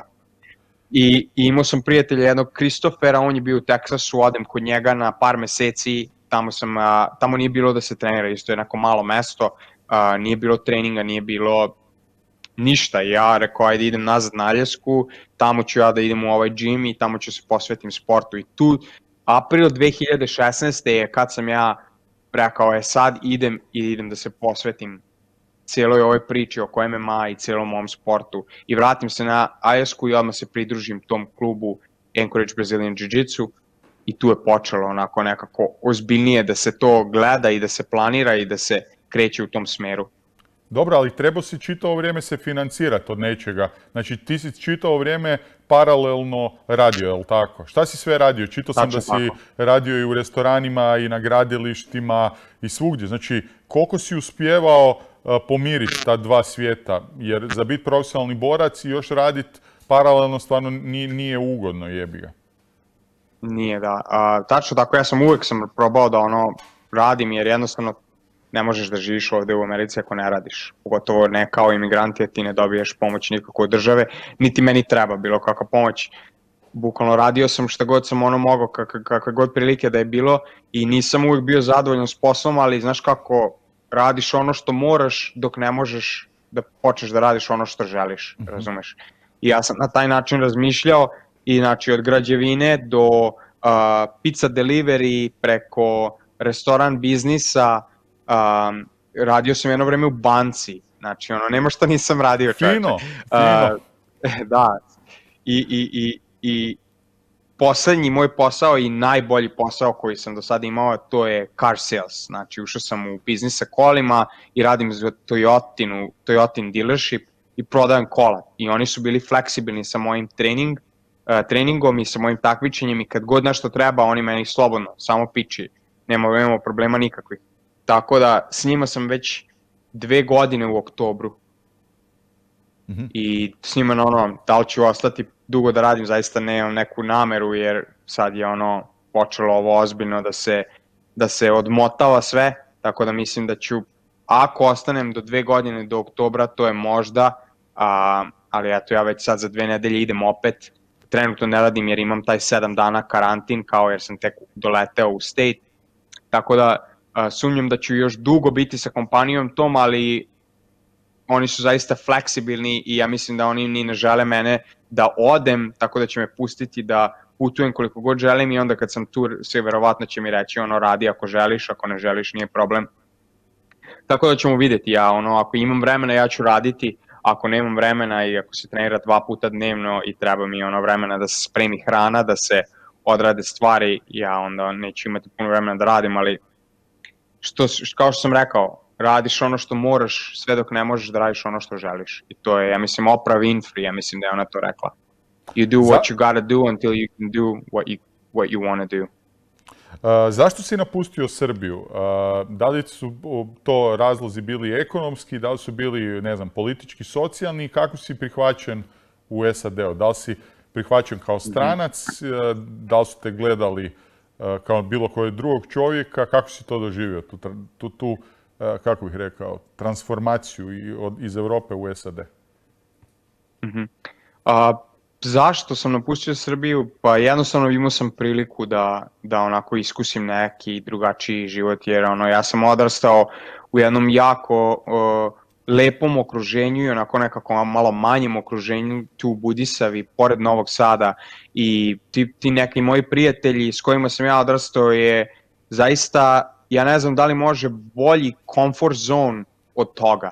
Znači, svi su me znali, znali su moje roditelje, poštovanje je onako već izgrađeno i, i zaista jedno divno i lepo odrastanje, znači, niti smo imali neki veliki problema, svi moji drugari su zaposleni, idu u škole, studiraju, uh, svi, svi moji iz okruženja, znači, nemaju razvedene roditelje ili bilo što, jednostavno je bilo tako nekako kako bi trebalo da bude po tim nekim knjigama kao tako je u, u tom, tom mom okruženju bilo. I kad sam imao priliku da se malo otisnem, da probam neke druge stvari, da li je to bila Amerika, Evropa, ja bih otišao svakako da jednostavno naučim u sebi, jer uvek je bilo, ej, šta ćemo da radimo, idemo subota, idemo u grad, idemo ovo, idemo ono, i znaš, i uvek sam deo društva bio i gde god me zovu, ja sam za, znači, može, nema problema, ništa. I jednostavno, taj prvi odlazak je meni otvorio oči gde, gde je bilo ono čoč, pa ja, ja ne želim da izlazim, ja ne želim da idem da pijem, da radim ovo ili ono, meni se jednostavno, ja bih volao drugačije da živim. I tu je meni preseklo nekako kao je, pa ajde sad da ja probam ovo ili ono i onda je došlo na red to da budem borac, razumeš, ali ja mislim ta najveći neka, nekako utisak na mene je ostavilo to što sam mogao da se posvetim 100% sebi. Izvuči sebično to i, i, i znaš ono kao ostavio sve ovo ono, ali zaista je to neko iskustvo gde sam ja naučio mnogo i preko noći nekako postao čovek, jer ja, mhm. svi ono što me znaju, znaju me da sam zajebanti klinac i ono, uvek sam u neke probleme upadao, ali ja kako sam otišao, neke stvari su se promenile i ono, ja sam se dosta posvetio sebi i tom nekom personalnom uh, rastu, što se tiče mentalno, tako i fizički. Mm -hmm. Kakvi su Aljašćani ili ljudi iz Aljaske, ne znam kako se kažu, uh, tamo ima, u biti ima kokežan i ima ovih domorodačko, je tako, dosta stanovništva, jesam u pravu, nisam. Tako je, da. Kako izgleda to? Tako kako, kako se slažeš s jednima, kako s drugima, da li su svi integrirani, kako to izgleda tamo, kako ste prihvatili? Evo, došao neko iz, iz Srbije, evo ga, pa nema problema, dođi. Vidi, ovde je, ja mislim da je ovo jedan od kao najveći, najviše diverse community mhm. ovde, mm -hmm. Kak, uh, raznovrsno je jako, da, da. znači jako puno Azijata, Eskimi, uh, beli ljudi, crni ljudi, znači sa svih strana uh, iz Afrike, zaista je jako, jako onako raznovrsno. I nije mi bilo lako u početku, onako, nisam bio prihvaćen, razumeš? Ja u Srbiji imao sam devojku, nije mi bio problem sa prihvaćeno društva, prihvaćen, lako je bilo uvek da se nađe devojka, da se nađu prijatelji, da ovo, da ono, prvo porodica je tu. I onda se ja preselim potpuno drugačije. Ne mogu da nađem društvo, ne mogu da nađem devojku, ne mogu, razumeš, da se onako oslobodim potpuno jer nikog ne znam, ništa ne znam. I, i tako da je prošlo par godina dok ja nisam počeo zaista da se osjećam onako konforno, gde sam ja upoznao dovoljno ljudi i video kome mogu da verujem, jer mnogo drugačija je kultura ovde i, i nije tako lako. I ja zaista da spomenem nazad, da se vratim kad sam rekao da dosta tih naših ljudi živi u tim nekim bubble gde su oni kreću se mm -hmm. u tako istom društvu, razumeš, i, i, i razlog tome je što nije tako lako da se jednostavno prilagodiš, jer to su drugačiji ljudi, drugačije se uh, ponašaju i imaju neke drugačije navike, razumeš, od našeg naroda. I, i taj socijalni level gde se ljudi druže i zezaju nije isti kao kod nas čak i kod nas mnogo bolji. Mnogo se lakše ostvaraju prijateljstva, mnogo brže to ide i ne moraš ti, sad kod njih se zasniva, razumeš, na većini kao da li ćemo biti neki bliski prijatelji ili teško da ćemo biti prijatelji uopšte. A, dok kod nas ima taj neki u sredini kao... Kao poznanici, kao... Smo, tako je, da. I opet ti poznanici provode dosta vremena zajedno. Idemo na kafu, idemo vamo, idemo na trening zajedno, razumeš? Što ovde je malkice drugačije i onda mi je ono bilo teško tih prvih par godina da, da, da, da jednostavno saberem se i da skontam, teo sam da odem, teo sam, jao, pa šta ja radim, da li da idem kući u Srbiju, razumeš, nije, zaista nije bilo lako u početku, ali vremenom, ono, i strpljenjem, ja sam napravio te neke promene u, u, u, u mom a, ponašanju i ono za šta ja marim, jer ja sam u početku kao pa ja ne mogu da nađem ovo, ne mogu da nađem posle dve godine ja skontam pre šta ja tražim, ja meni ne treba niko, razumeš, ja treba samo da se posvetim, da radim ono što meni odgovara. I onda su počeli ljudi da me okružuju, koji se bave sličnim stvarima, koji žele da me upoznaju i onda, razumeš, sam ja izgradio taj nek, tu neku grupu ljudi s kojima ja provodim puno vremena. A, mislim da je to najbitnije. Kad sam ja razmišljao o tome, imao sam par ponuda prije par godina da odem isto raditi u Englesku. A, a, baš za neke kompanije koje rade, koje se bave boračkim sportom i to mi je bio najveći razlog zašto da ne odem. Jer ti s vremenom gdje god živiš, ti stvoriš taj jedan svoj mini svijet, tu komfort zonu gdje znaš, ok, ako imam ovaj problem, obratit ću se njemu. Ako imam ovaj problem, on će mi pomoć. Znaš di su ti bolnice, gdje ti je, gdje se ovo Tačno, kupuje, gdje se ono sve. proda. Da, u biti znaš kako funkcionira svijet. I onda mi smo svi inertna bića i volimo taj jednu zonu u kojoj se osjećamo sigurno i da nam je sve nadohvat ruke. I onda kad to promijeniš, stvarno treba par godina da, da, da se izgradi, da se počneš osjećaš, osjećat negdje drugdje kao kod kuće. Evo, ja sam sad se nedavno preselio iz Zagreba u Samobor, Samobor je jedan manji grad pored Zagreba i evo još mm -hmm. uvijek, znaš, nešto ti se dogodio, pa di to tu ima, znaš, ne poznaš nikoga, treba vremena. Tako da mislim da si očito jako dobar posao napravio kad, kad evo, sad, sad ne bi išao nigdje drugdje, nego si rekao da, da se tamo osjećaš kao kod kuće. A, šta ti s pa. papirima? Rekao si da tri godine nisi bio kod kuće, što, evo, moje, ne znam kako da kažem, osjećanje, žao mi je. Zbog toga to mora da je ono dosta teško za, za proživjeti i tako funkcionirati. Ali da ti je šta odvjetnik rekao da, da ti ne savjetuje da se vraćaš sad kod kuće zbog karantene jer ko zna šta se može dogoditi. Kakav je to pravni status i koliko je to utjecalo u biti na ovaj meč u SAD-u s UFC-om? Tačno tako, pa a, vidi, trenutno ja imam putni dokument i radnu dozvolu. Ja mogu da putujem i mogu legalno da radim, ali još uvijek nisam na, toj, na tom statusu gde su meni rešeni, ono, bukvalno rešeni, rešeni svi papiri. Ja mogu da putujem, mogu da se krećem, mogu legalno da radim, tako se to je igralo veliku ulogu a, da li ću dobiti meč ili neću, pošto su oni tražili od mene kao imigranta sve papire i naravno, pošto su papiri normalni i legalni, oni su mene mogli da zaposle. A, što se tiče toga, advokat mi je rekao da jednostavno ne savjetuje mi da idem, ako moram, nije problem. Znači, ona je meni rekla, vidi, ako se nešto desilo, ne daj Bože da, razumeš, ne daj Bože, neću ni da, da spominjem, da moraš da ideš, idi, nije problem, ali ako ne moraš da ideš i nije hitno, ja ti ne savetujem. I sad ja u poslednjih, razumeš, godinu i po dana ja to rešavam, ali jako su spori procesi ovde, znaš. Isto kao kod nas otprilike, papire ono i odeš na šalter i ona lista fali ti jedan papir, vozi, vrati se kad skupiš sve, razumeš.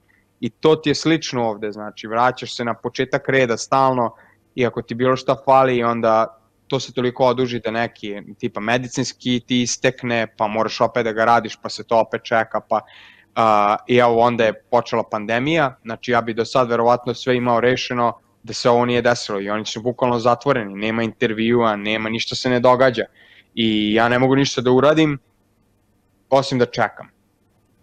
I nemam problema s tim trenutno, ono sad, da mi je jako teško nije, ono, jedva čekam da vidim moju porodicu, naravno, um, ali sad da, razumeš, navikao sam se već prošle godine, razumeš, ja sam poslednji put bio 2017. novembar, znači uskoro će biti tri, tri godine, godine, ono. Jasno.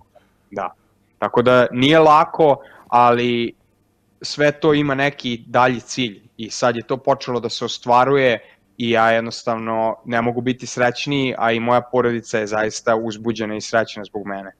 Pa gledaj, sigurno je lakše danas nego prije 7-8 godina kada nije bilo Whatsappa, svega. Stvarno, Whatsapp je recimo genijalna stvar za, upravo za takve kontakte. Ti možeš praktički videom se vidjeti, ko da imaš osjećaj ko da je živiš s nekim, ako želiš si tako nešto odraditi. Jesi probao zelenom lutrijom, jesi probao se oženiti i to su neke kombinacije za dobiti papire. Mislim, ovo drugo se zabavam.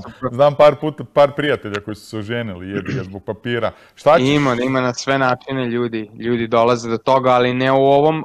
ja sam trenutno na nacionalnom interesu, tako se zove. Aha, znači, nacionalni interes je e, bazira na to da ja sam sportista koji uči decu sportu, koji promoviše zdrav život, koji investira u našu ekonomiju ovde na Aljesi i generalno u Americi, plaća takse, radi i ne treba mu pomoć od države jer jednostavno imam sve dokaze da mogu da živim i da, da izdržavam ne samo sebe nego još jednog člana porodice ako je do toga došlo i ako to treba da se desi. Uh, tako da na osnovu toga imamo argument u imigracionalnom i bukvalno ono, ne pričam ja o tome često, ali ono, ovo je neka posebna prilika, niti ono ljudi preko ja zaista zaista ne govorim ni mojim drugarima ni ono bliskim nekim ljudima o tome jer me niko ni ne pita šta je tu i rešava se, radi se na tome, ne, ne mogu ja sad to da ubrzam jer to ide svojim tokom, ali uh, što se tiče slučaja samog,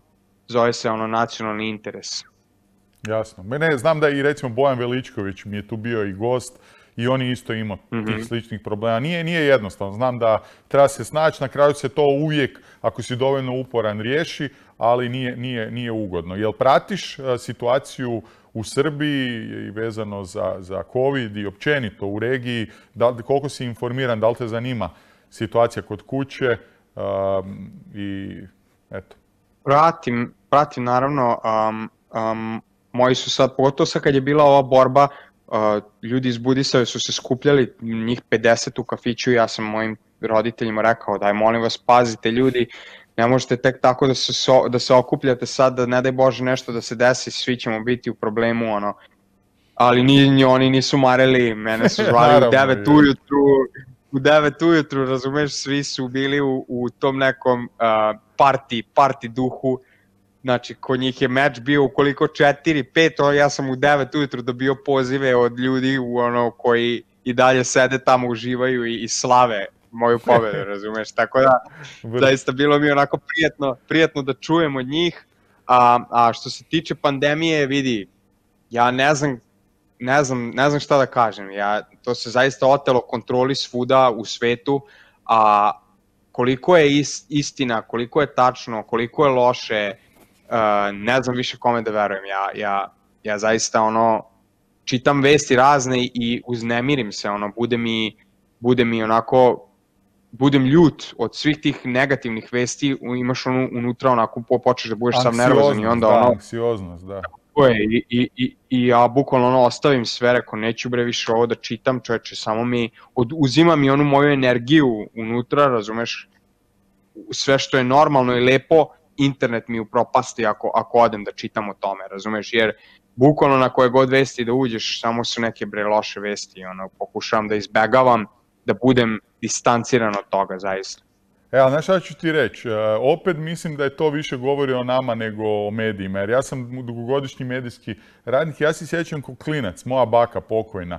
Znači ona bi čitala večernji list, i uvijek se čita posebno na glas svima kronika. Ovog pala sjekira na glavu, ovaj pao u bunar, ovog pogazio traktor, pa onda, ne znam, ovaj osoba NŽ 34 ubio mamu i kćer. Znači, onda se to čitali, o moj Bože, znači ljude to zanima. Tako da, ja ne kažem da je to dobro, meni je to grozno. Ja više, evo, zadnjih sad, isto sam si rekao koji ti zadnjih možda mjeseci pol dva uopće više ne čitam koliko je mrtvih, preminulih, zaraženih.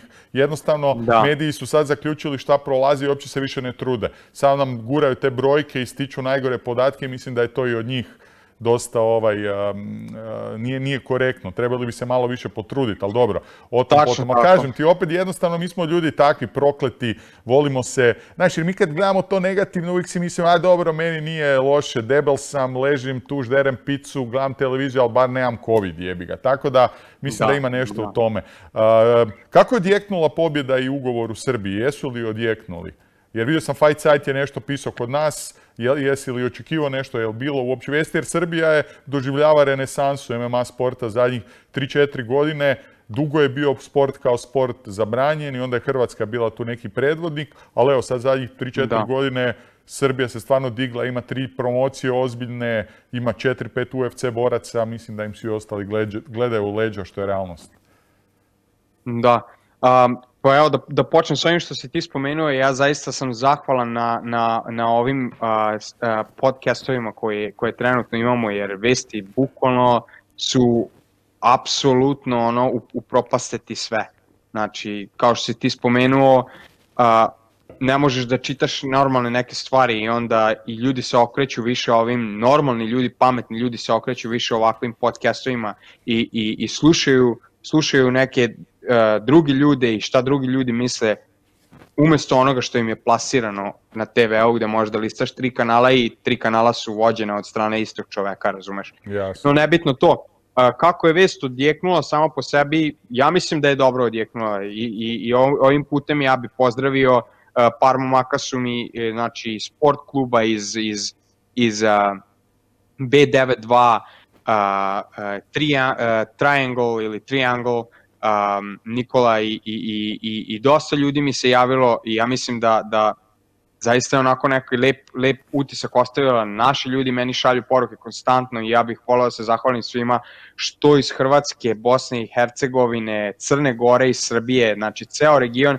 meni non stop stižu poruke na Instagramu, čestitaju mi ljudi, zahvaljuju se što promovišem uh, na neki normalniji način i ja ću zaista dati sve od sebe što mogu da, da, da pridobijem neke, neke fanove koji su odbojni od, i koji stoje daleko od tog sporta, pa čak i neki ljudi bliski meni koji i ono i dalje misle da je to neki sport za životinje, ja promenili su neka mišljenja kad su videli da ja zaista ono to, time se bavim i trudim se da, da, da, da to nekako se predstavi na neki lepši način zato što zaista a, mislim da bi trebalo da bude malo raznovrsnije jer ograničili smo borce ne samo iz regije, ali iz cijelog sveta da budu namršteni, istetovirani, ćelavi, bezobrazni, a, razumeš i to, nemam ništa protiv toga. Ja u takvom okruženju imam i prijatelje moje iz Srbije mnogo, razumeš, i, i uvek sam mogao da se oslonim na takve ljude, niti ja baziram ko je kakva osoba na osnovu, na osnovu njihovog izgleda, razumeš, ali a, zaista bih voleo da jednostavno izađem tamo u nekom malo drugačijem svetlu, da se jednostavno pokaže, e, pa nije baš sve tako, razumeš, da se malo, što je raznovrsnije, ja mislim da će biti bolje, jer više ljudi će da gleda i više ljudi će da, da, da, da razumeš, ako imaš, ako imaš fanove neke koji dolaze iz drugačijeg nekog okruženja ko, koji ne gotive takvu masu, koji više gotive nekog ko će, razumeš, da priča i da se ponaša malo normalnije, onda mi čak imamo benefit svi, ne ja samo, nego ti, podcastovi i, i svi bilo ko se bavi time, uh, izdvojit će vremena da pogleda, jer, jer jednostavno nije video klasičnog MMA borca koji će da dođe, razumeš, i da priča o čemu već pričaju, razumeš, tako da ono...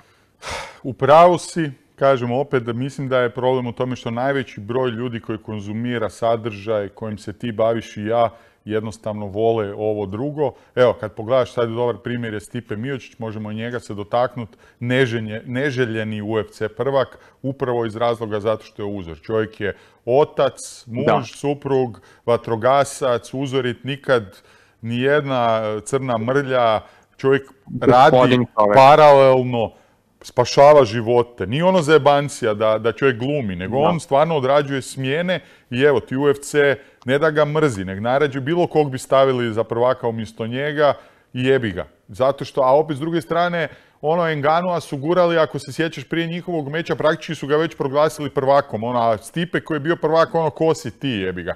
Tako da, um, money makes the world go around, a money je tamo gdje su jednostavno ljudi Ljudi kupuju takve, takvu ekipu, evo, e, tako je kako je, jebi ga. E, ja nemam ništa protiv toga jer je dobro za biznis i mislim da treba svako naći svoje mjesto, ali slažem se s tobom da mislim da treba biti i mjesta jednakog za upravo ovakve kao što si ti, znači neko ko je elokventan, ko je pametan i koji pokazuje nekakav drugi primjer. Mislim da za to isto treba biti mjesta. Ali pratiš situaciju u regionalnoj, na regionalnoj MMA sceni, vjerojatno pratiš što se tiče UFC-a pa znaš da je Aleksa Čamur nedavno dobio ugovor, Dučko Todorović trebao se sad boriti pa je bio pozitivan, Stefan Sekulić se trebao boriti pa je pao na doping testu, ali sad otprilike izlazi dvije godine mislim sad uskoro, znači to su već mhm. četvorica.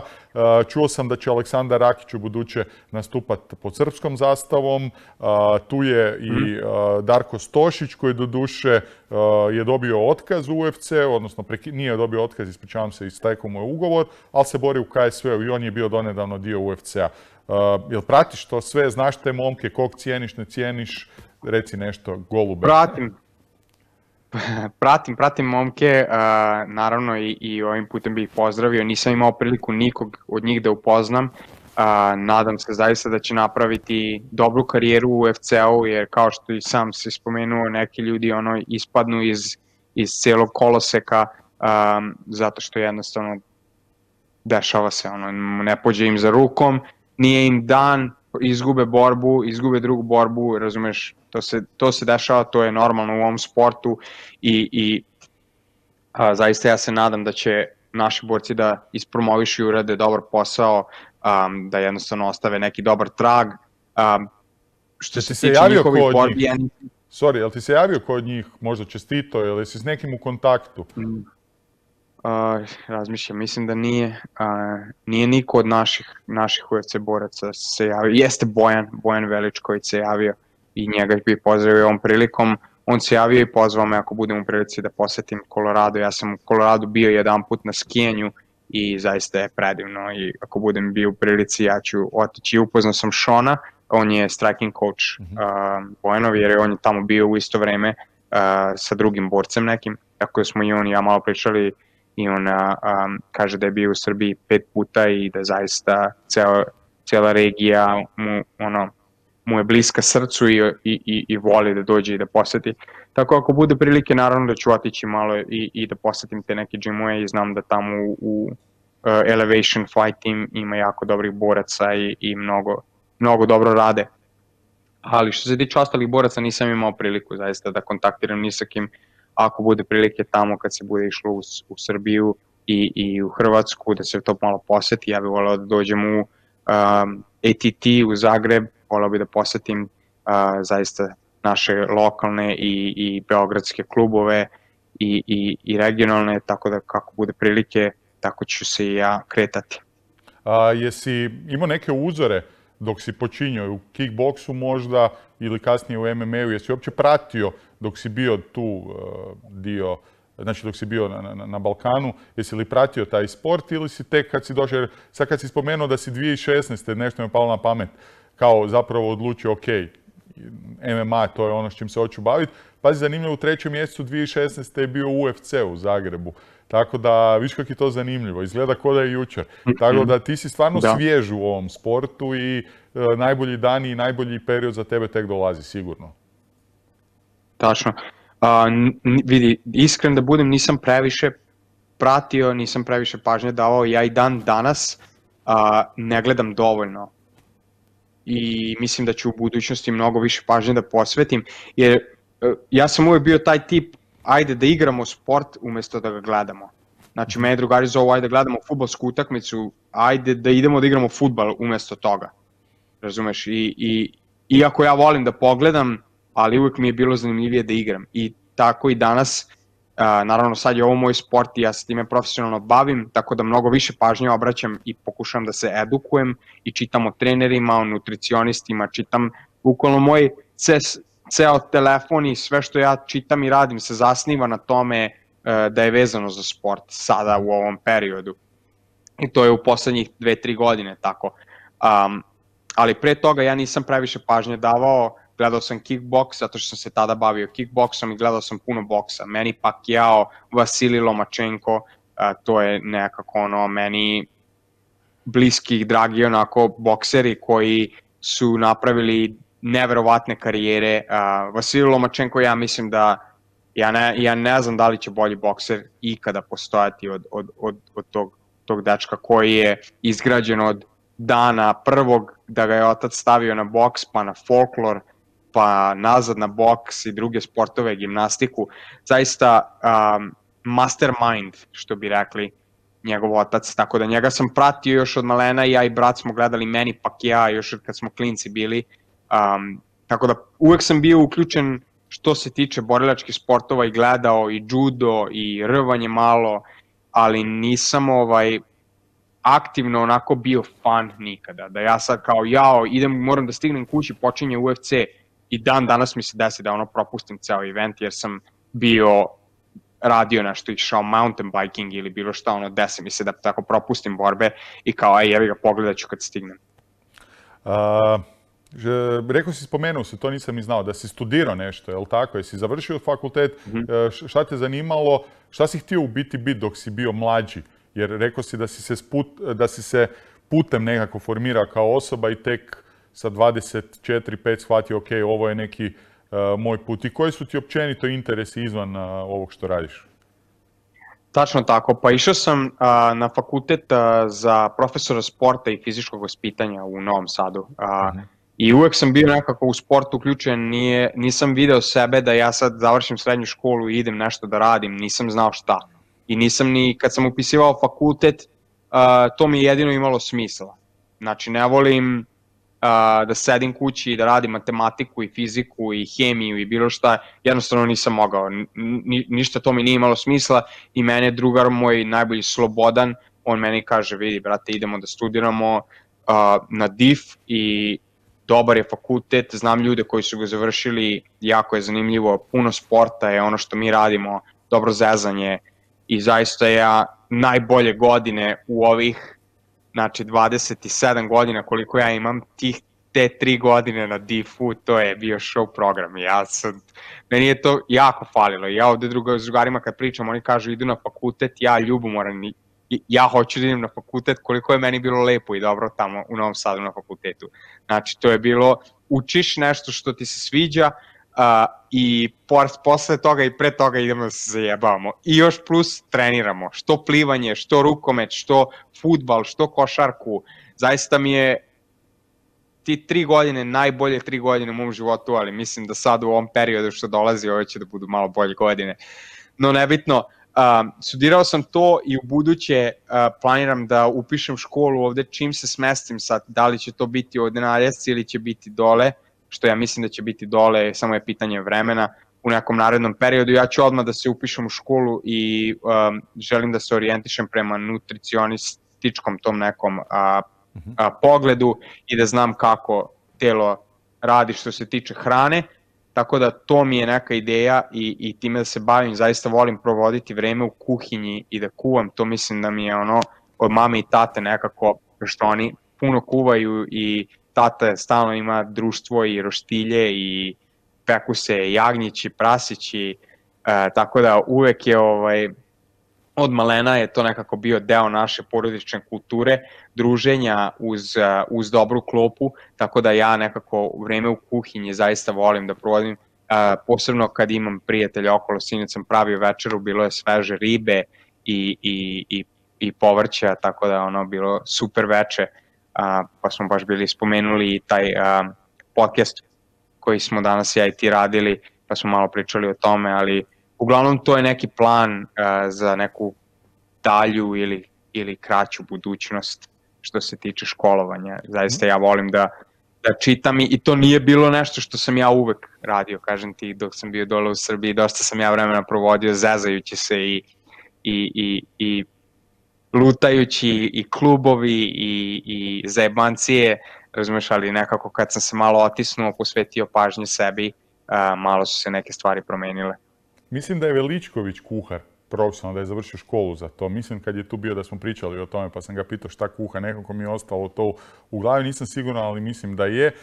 vidim da ti fali prema osmijehu na licu ipak ovaj balkanski mentalitet koji je tu svugdje isti. Taj neki tu kod nas Balkanaca, ok, mi se i svađamo međusobno i sve, ali kad se vidimo, evo, ja sam sad nedavno vidio se ljudima iz Crne Gore i Srbije kad su bili tu na FNC, uvijek, e, a di si, brate, srdačni smo jako i kad se volimo, onda se volimo na maksimum i kad se mrzimo, mrzimo se na maksimum. To je malo u, krajima kao što je Aljaska vjerojatno sve onako middle, blaže, pa, pa vidim da ti to nedostaje, ne znam.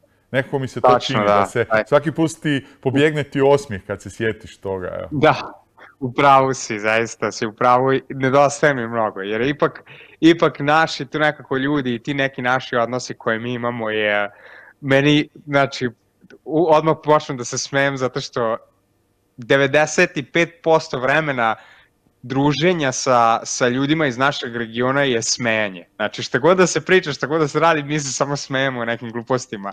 Da li što se sećamo prethodnih događaja ili što se bacaju neke šale, tovarenje, znači uvek je, uvek je neka zajebancija i, i zaista mi malo mi fali ono da se opustim i da ne razmišljam previše, jer to sad je toliko postalo sve ozbiljno da ja provodim dane i noći samo ono planirajući, razmišljajući, zapisio ovo, zapišio ono, čitaj vamo, čitamo i tako da um, jedva čekam, iskreno jedva čekam da dođem malo dole, da se družim sa našim ljudima, da se sedne, da se opusti, da se malo smeje i da ono stvarno se zaboravi na, na, na sve muke, na sve probleme u životu, na sve obaveze kad se onako malo malo otisne u taj neke naše konverzacije i zajebancije.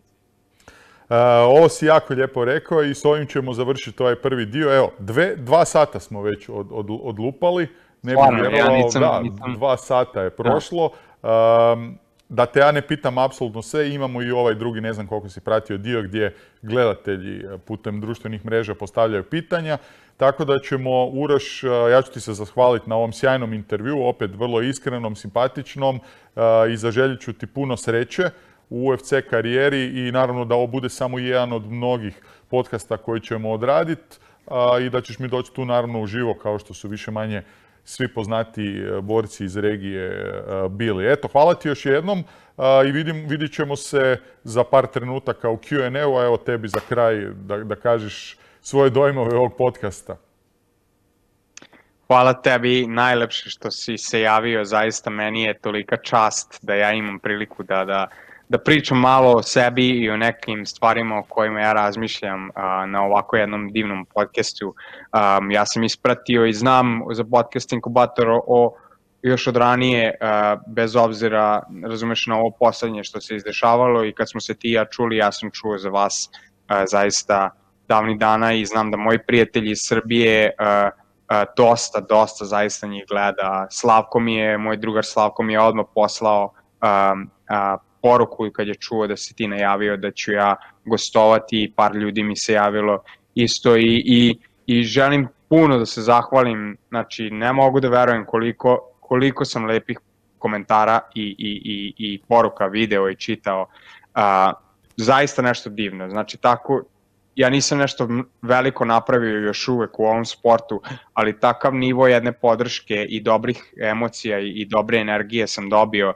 da, da znači da jedva čekam da, da, da se borimo opet, da predstavim naš ceo region u nekom lepom svetlu i da pozdravim neke ljude posle borbe i putem tih, tih nekih prilika i, i putem manjih ekrana preko tog ESPN-a opet zato što jednostavno ima tu neku drugačiju energiju.